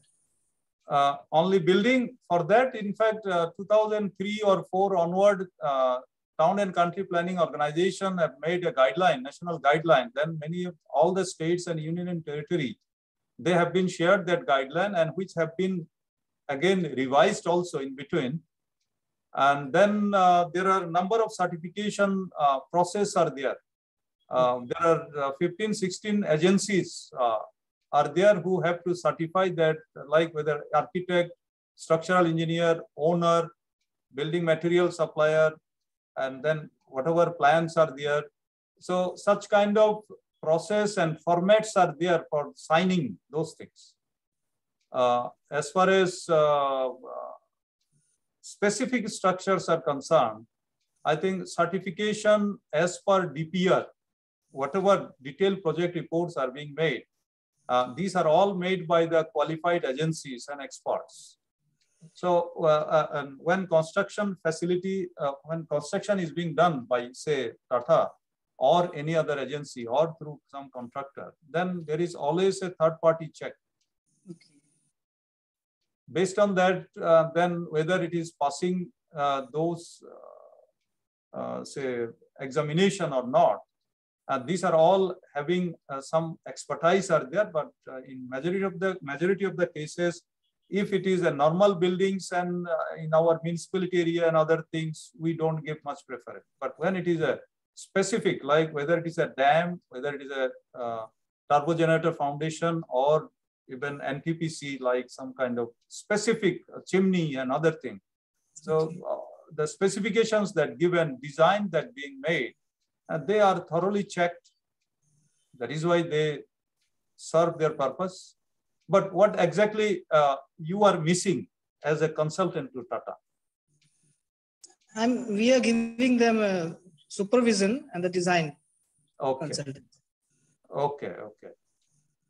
Uh, I think uh, uh, if I take again the case of Delhi, uh, that Municipal Corporation of Delhi, they often come up with uh, some of the advertisement in the newspaper that uh, third party checking of the buildings that they are giving permission through whatever process down country planning section.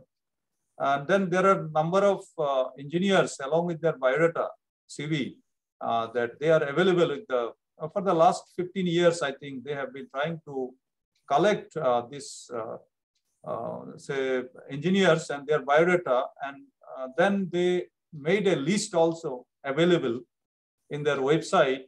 Uh, then, but since there is no legality in that, it goes on depending on the choice between owner, like in case of private ownership, and then the architect or even the planner or even structural engineer.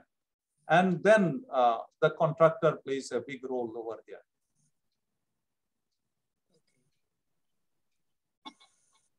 So certifications and other things uh, becomes uh, some kind of formalities in most of the cases. And for that, the kind of events that happening, like in Gurgaon, that which has come up, or 10 years back, uh, whatever has happened in Delhi, or in between that, the building collapse that taken place in many of the metro cities, even without earthquake, then uh, public become very sensitive enough, community become very vibrant, media become very much vibrant. And in, in uh, whenever such event happens, then many of us, we get the limelight uh, to face the media or write some article. But uh, the very purpose of this uh, program is to sensitize our community and civil engineer and allied industries, whether it is retrofitting or whether it is health mapping or scanning or uh, building health mapping industry. Like I have shown some of the sample being taken from the buildings at the ground floor, which was not appropriate. So uh, the area is very much gray although uh, uh, we have, like Dr. Gopal Rai or uh, Mr. Verma, that through ACI that they have been doing a lot of such work in across the country, but we need to have more and more such experts come up because the we are having a lot of responsibility now. Many buildings are getting older and uh, one thing is uh, here to panelists, I would say that the cost aspect is the main, uh, main concern. What is the approximate cost that takes extra or in case of retrofit, uh, Resistoflex building, uh, may tell us that they have shown, he has shown that one story extra floor that they could add with the proper permission. So can you give uh, some accounts about the percentage wise approximate uh, that cost saving uh, with the ensuring earthquake safety. Uh, what do you say about that? Sir, we, as per our experience with the showcase building and our references also, I can say that, you know, it, it will be in the scale of plus minus 10%.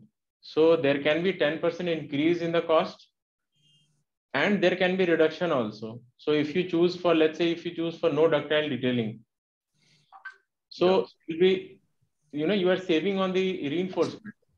Plus the forces will be much lesser. So the structural element the size of the cross section significantly reduces. Yeah. And this is the upfront benefit. Like i said in my presentation also is the upfront benefit. So if you are you know if you are thinking about future you may not need any retrofit later. So you yeah. have be yeah you have to be very future oriented about your structure. If you really love your structure then you have to ensure that at a later stage also it will not be devastated with any earthquake forces. But yes as far as cost is concerned like i said plus minus 10% margin nothing more than that. Okay. Okay. Uh, uh, Nitinji, uh, you have taken many projects. So uh, whatever estimate before starting that you have given to the to the client, and uh, your experience, your your experience that uh, although theoretically it is said that uh, more than 30% for retrofitting, then don't rather don't go for that. But those are the guideline only. But you have done many uh, such work that what is your uh, uh, direct experience about the estimate that you have given and the cost percentage to making the building a renewed one? So, your... so our experience has been very simple. I mean, we have rarely reached a cost of 30 uh, cost to the tune of 30% of a new construction when we whenever we have been doing a planning or retrofitting retrofitting's cost i mean in my experience for past 10 years has rarely crossed 20 22 23% maximum we have never reached even 30% mm-hmm. all the projects that we have done i mean okay. this is an exercise that we have done over time and again what generally happens is people start adding the cost of the finishes and the cost of the other facilities and the kind of things that they immediately jump to join. Oh mera column itna badhiya ho gaya main to ab iske upar ye room add kar leta hu and this and that. uh-huh. when they get greedy about these things and then they start calculating the cost then they said oh main tod ke banata to better rehta but when you do an actual cost analysis of a retrofitting of a similar thing and retro uh, cost of construction of a similar quality and quality what way you were we have rarely crossed 20 22% figure. So retrofitting by my opinion is is a huge huge thing. All you need to do is i mean the three questions that i have read in the chat are yeah. very relevant. One obviously is about the uh, thing. But then what we need to do is we need to define the process of the retrofitting very very efficiently. I mean obviously retrofitting for me cannot be intrusive to many other things. I mean, it can't get to a stage that you start losing out to the advantages of the space and the land and everything that you have. Which, at the end of the day, structure is no cost. The cost is the uh, is the real estate. The real estate is your floor area. So, so your premiumness comes to that part. So yeah, when you do a cost analysis onto that part, then you understand the retrofitting comes out to be a much cheaper and easier option. The second things that I have often uh, encountered is people come up and say कि वो retrofitting is very slow इतना तो मैं तोड़ के बनाता जल्दी बन जाता and this and that yes possible है but then at the end of the day you have you are not adding the cost of demolishing and dismantling your existing structures I mean then you don't add your cost to the point you have to move out the uh, the function that particular building is serving to it doesn't that function has to continue even if that building is not there you're shifting out to somewhere else the function has to continue so retrofitting, by my opinion, in every aspect, if you put your cost into a table, in putting up your risk cost, putting up your time cost or a life cycle cost, anything, or even the cost of a structure or that particular point, retrofitting has to be the most cost effective manner, solution to it. The building uh, life can be enhanced the certification can be taken care of. Obviously, uh, when the building was constructed, it was certified up to a certain thing. The retrofitting design is only improving that certification process. I mean, the strengths that are desired to this. Once those strengths are desired, your codes are very, very easy to certify those things. I mean, based on your code, based on your analysis and the stats and the model and everything. I mean, this uh, certification is no problem. The problem is that mindset problem is the mindset ये crack आ गया ये कमज़ोर हो गया ये कमज़ोर हो गया अब इस कमज़ोरी को हमको तोड़ के ही दोबारा बनाना है for me a building is a human body i mean you go to a doctor if you have any ailment if you have, even have a cancer if you have a corrosion in your building the thing is your cancer can be treated your corrosion can be treated so it's, as simple as that for me at least okay so good as rightly said and explained huh? And I can see, oh, lot many, uh, lot of, lot of queries are coming up now. Really fantastic. Huh? Uh, rather, uh, I would say before going to the question, because we have Rupanita uh, Poria Chatterjee, uh, who is there in our panel. Uh, Ma'am, welcome to directly uh, like your question or your queries, whatever you want to explain.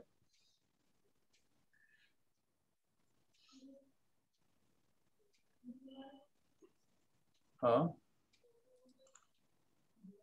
Rupanita.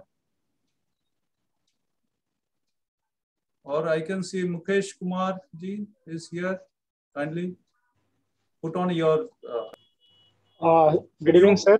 Yeah, yeah, good evening, sir. Sorry, sir. Actually, I'm in the office. Not actually. Okay, okay, please. Anyway, uh, my question is like, uh, how to like determine whether we can go for like retrofitting of the structure if, uh, say, for example, initially we have carried out uh, uh, core test or say rebound hammer test, and if you're getting a value which is uh, very less, say for example 10 MPa or 8 MPa, can we uh, do retrofitting of such a structures? Even for uh, rebar, we have carried out test where the strength was around 250 to 300 MPa, and the corrosion is uh, extremely high. So, is it possible to do retrofitting of such a structure where uh, you know concrete as well as uh, uh, rebar had lost its life predominantly, as well as the structure is more than 40 years old? Okay. Wow. I think answering this question will take at least half an hour. yes. But it is now uh, the experts that you please, uh, Nitinji. Uh, okay, I'll answer this. I mean, I mean, uh, the gentleman over here is slightly confusing uh, two parts. He says that the existing building has got, I mean, uh, is part below the standards of construction. Even the concrete is much below to the uh, M10, M8 degree, whatever, and the reinforcement is also deteriorated to an extent that probably now retrofitting never says that you have to enhance the strength of what is available. Retrofitting is a process with which you can supplement strength to this particular member. Now, supplementing of the strength can be done by any means. Supplementing of the strength is you can jacket that thing, your jacket stays the jacket can be designed in a manner that it takes the care of the load that is being imposed onto that uh, column. The uh, retrofitting in that process can be defined by to an extent adding to the strength by means of steel plating. So your section still remains the same but your plate takes the additional loads which is deficient in that thing what i'm trying to say is the retrofitting does not mean that you limit your thoughts to the existing available strength or the deteriorated part or whatever. Retrofitting at the same time also means supplementing it, which is very much possible. Thank you, sir. Thank you so much for your clarification. Sir, myself, Rupanita Paura Chatterjee. Okay. Yeah, welcome. Yes, sir. Um, I have a question regarding uh, base isolation and retrofitting. Uh, sir, if uh, primarily we have done soil testing before um, um, doing the um, substructure. But if uh, such such an case such a case arises that after the uh, soil excavation and soil um, um, soil data um, collection has been done, somehow after doing the after constructing constructing the substructure, if somehow there is a uh, settlement in the ground sometimes happen. What will be the effect on base isolator? Okay. Uh, before that, I would say, uh, okay, you finished your question? Yes, yes, I've done mine. Okay. So the point that uh, when you have got the soil data, huh, then with that data, first you think if somehow, if somehow part has to be removed from our uh, expert uh, through using our expertise. When soil data is there uh, below, before excavation and soil data is to be analyzed that is there any such kind of loose pockets are there or not. That is the first and primary uh, job of uh, geotechnical or even uh, those who are doing the ground engineering that when the building or construction will be done, what is the load expected and what are the influence area and uh, which will be subjected to extra pressure due to the superstructure when it will be constructed. But if soil data is just kept as a record and then without using, without knowing that what, what are the, uh, say, loose pockets are there, then that is the first fault in that case. And it is rather better that it has occurred before that base isolations are provided. Okay, so first thing is, uh, like in case of retro, uh, building, you know, uh, that the before putting the raft foundation, it was it was uh, made some some effort was made to increase the bearing capacity of the soil before putting the uh, this raft foundation raft foundation so that it gives uniform pressure on the uh, below the below the raft foundation. The uniformity is very, very essential. And in that case, the soil, the investigation that they did for more than uh, 10 meter, I think, that uh, SPT value and other uh, non, uh, other uh, tests like uh, shear test and other thing, bearing capacity and influence area. Those are the domain that where the safe bearing capacity are recommended based on settlement criteria expected from the law. So once that is done, then the second, then the question of base isolation device, what will happen to base isolation device uh, if such measures are taken appropriately, then nothing will happen to the base isolation. That is what I want to say.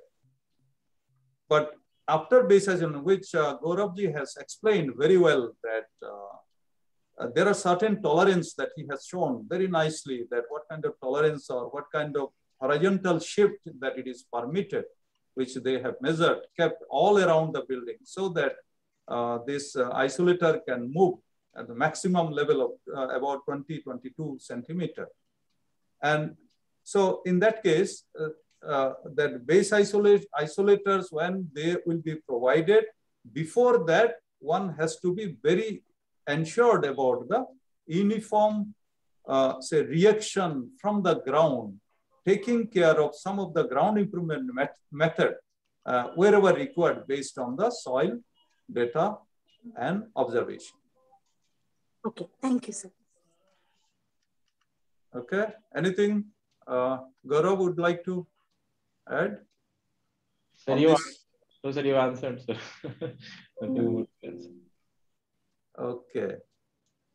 Uh, anybody else?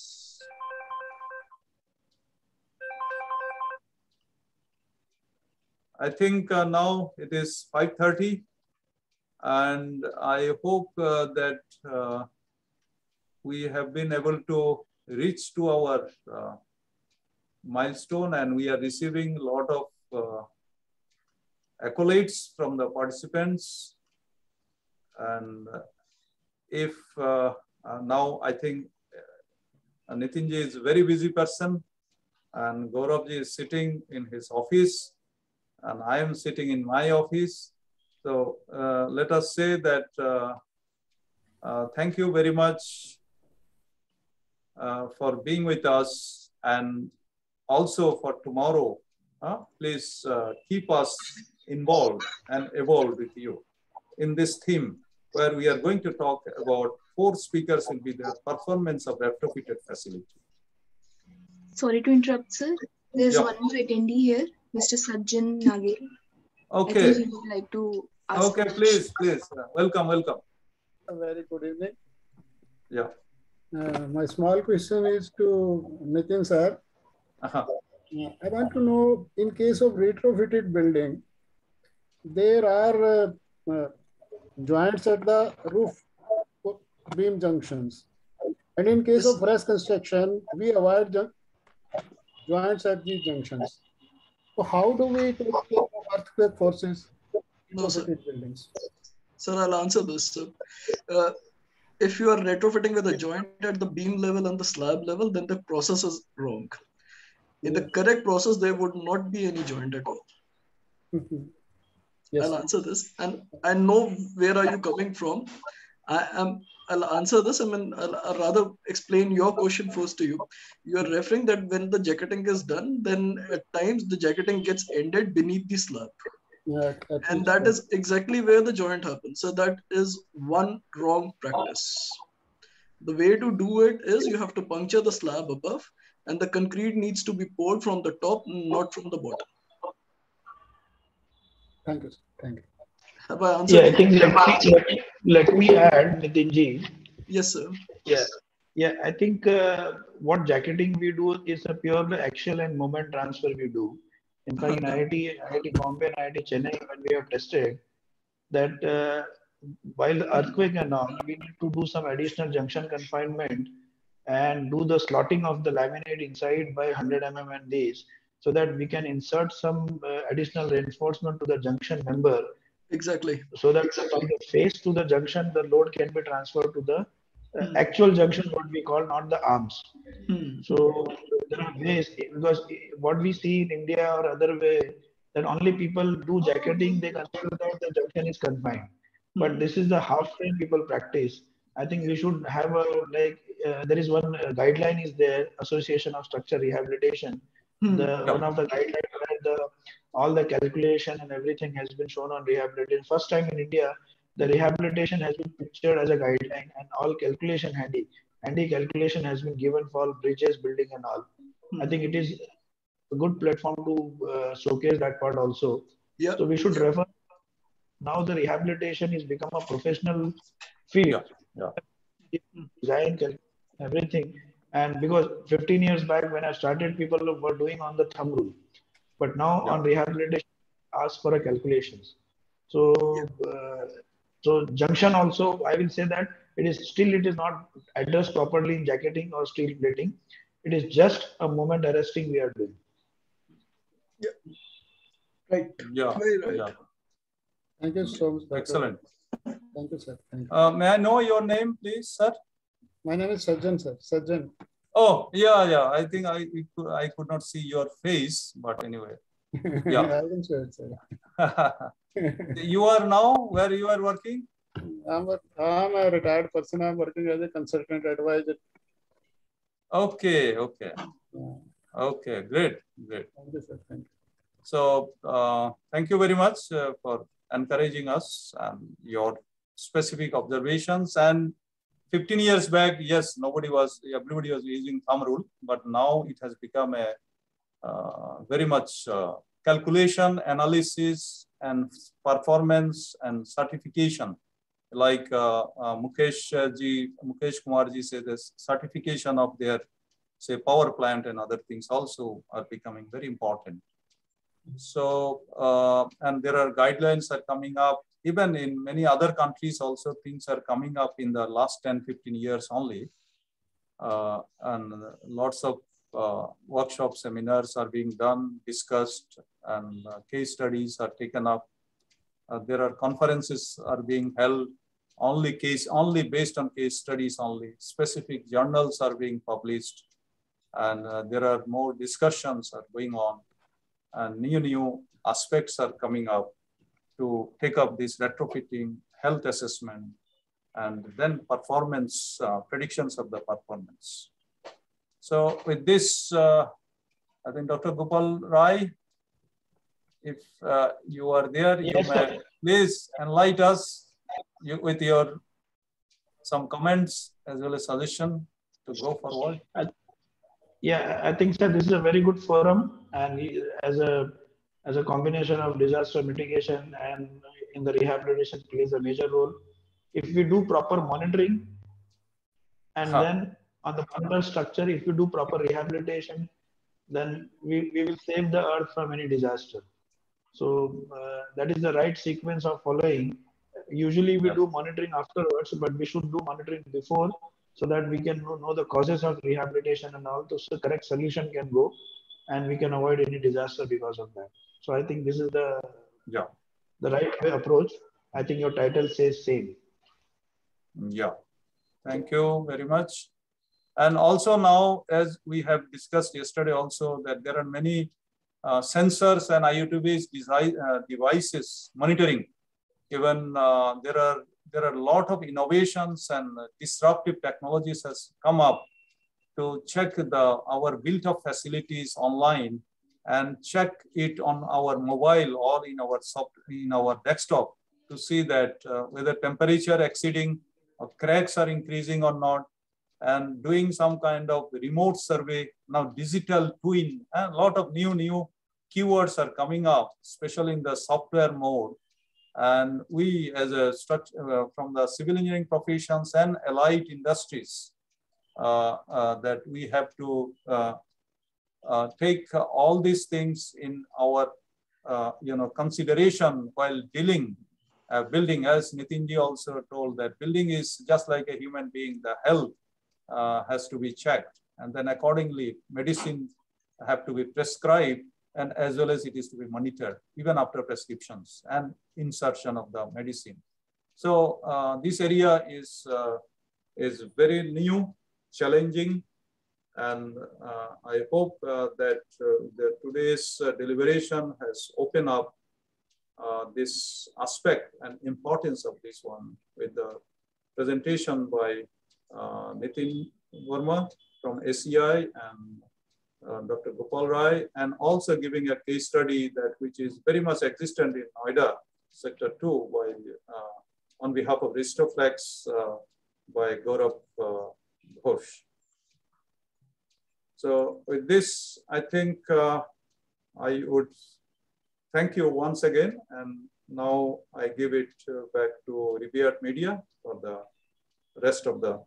Thank you, sir.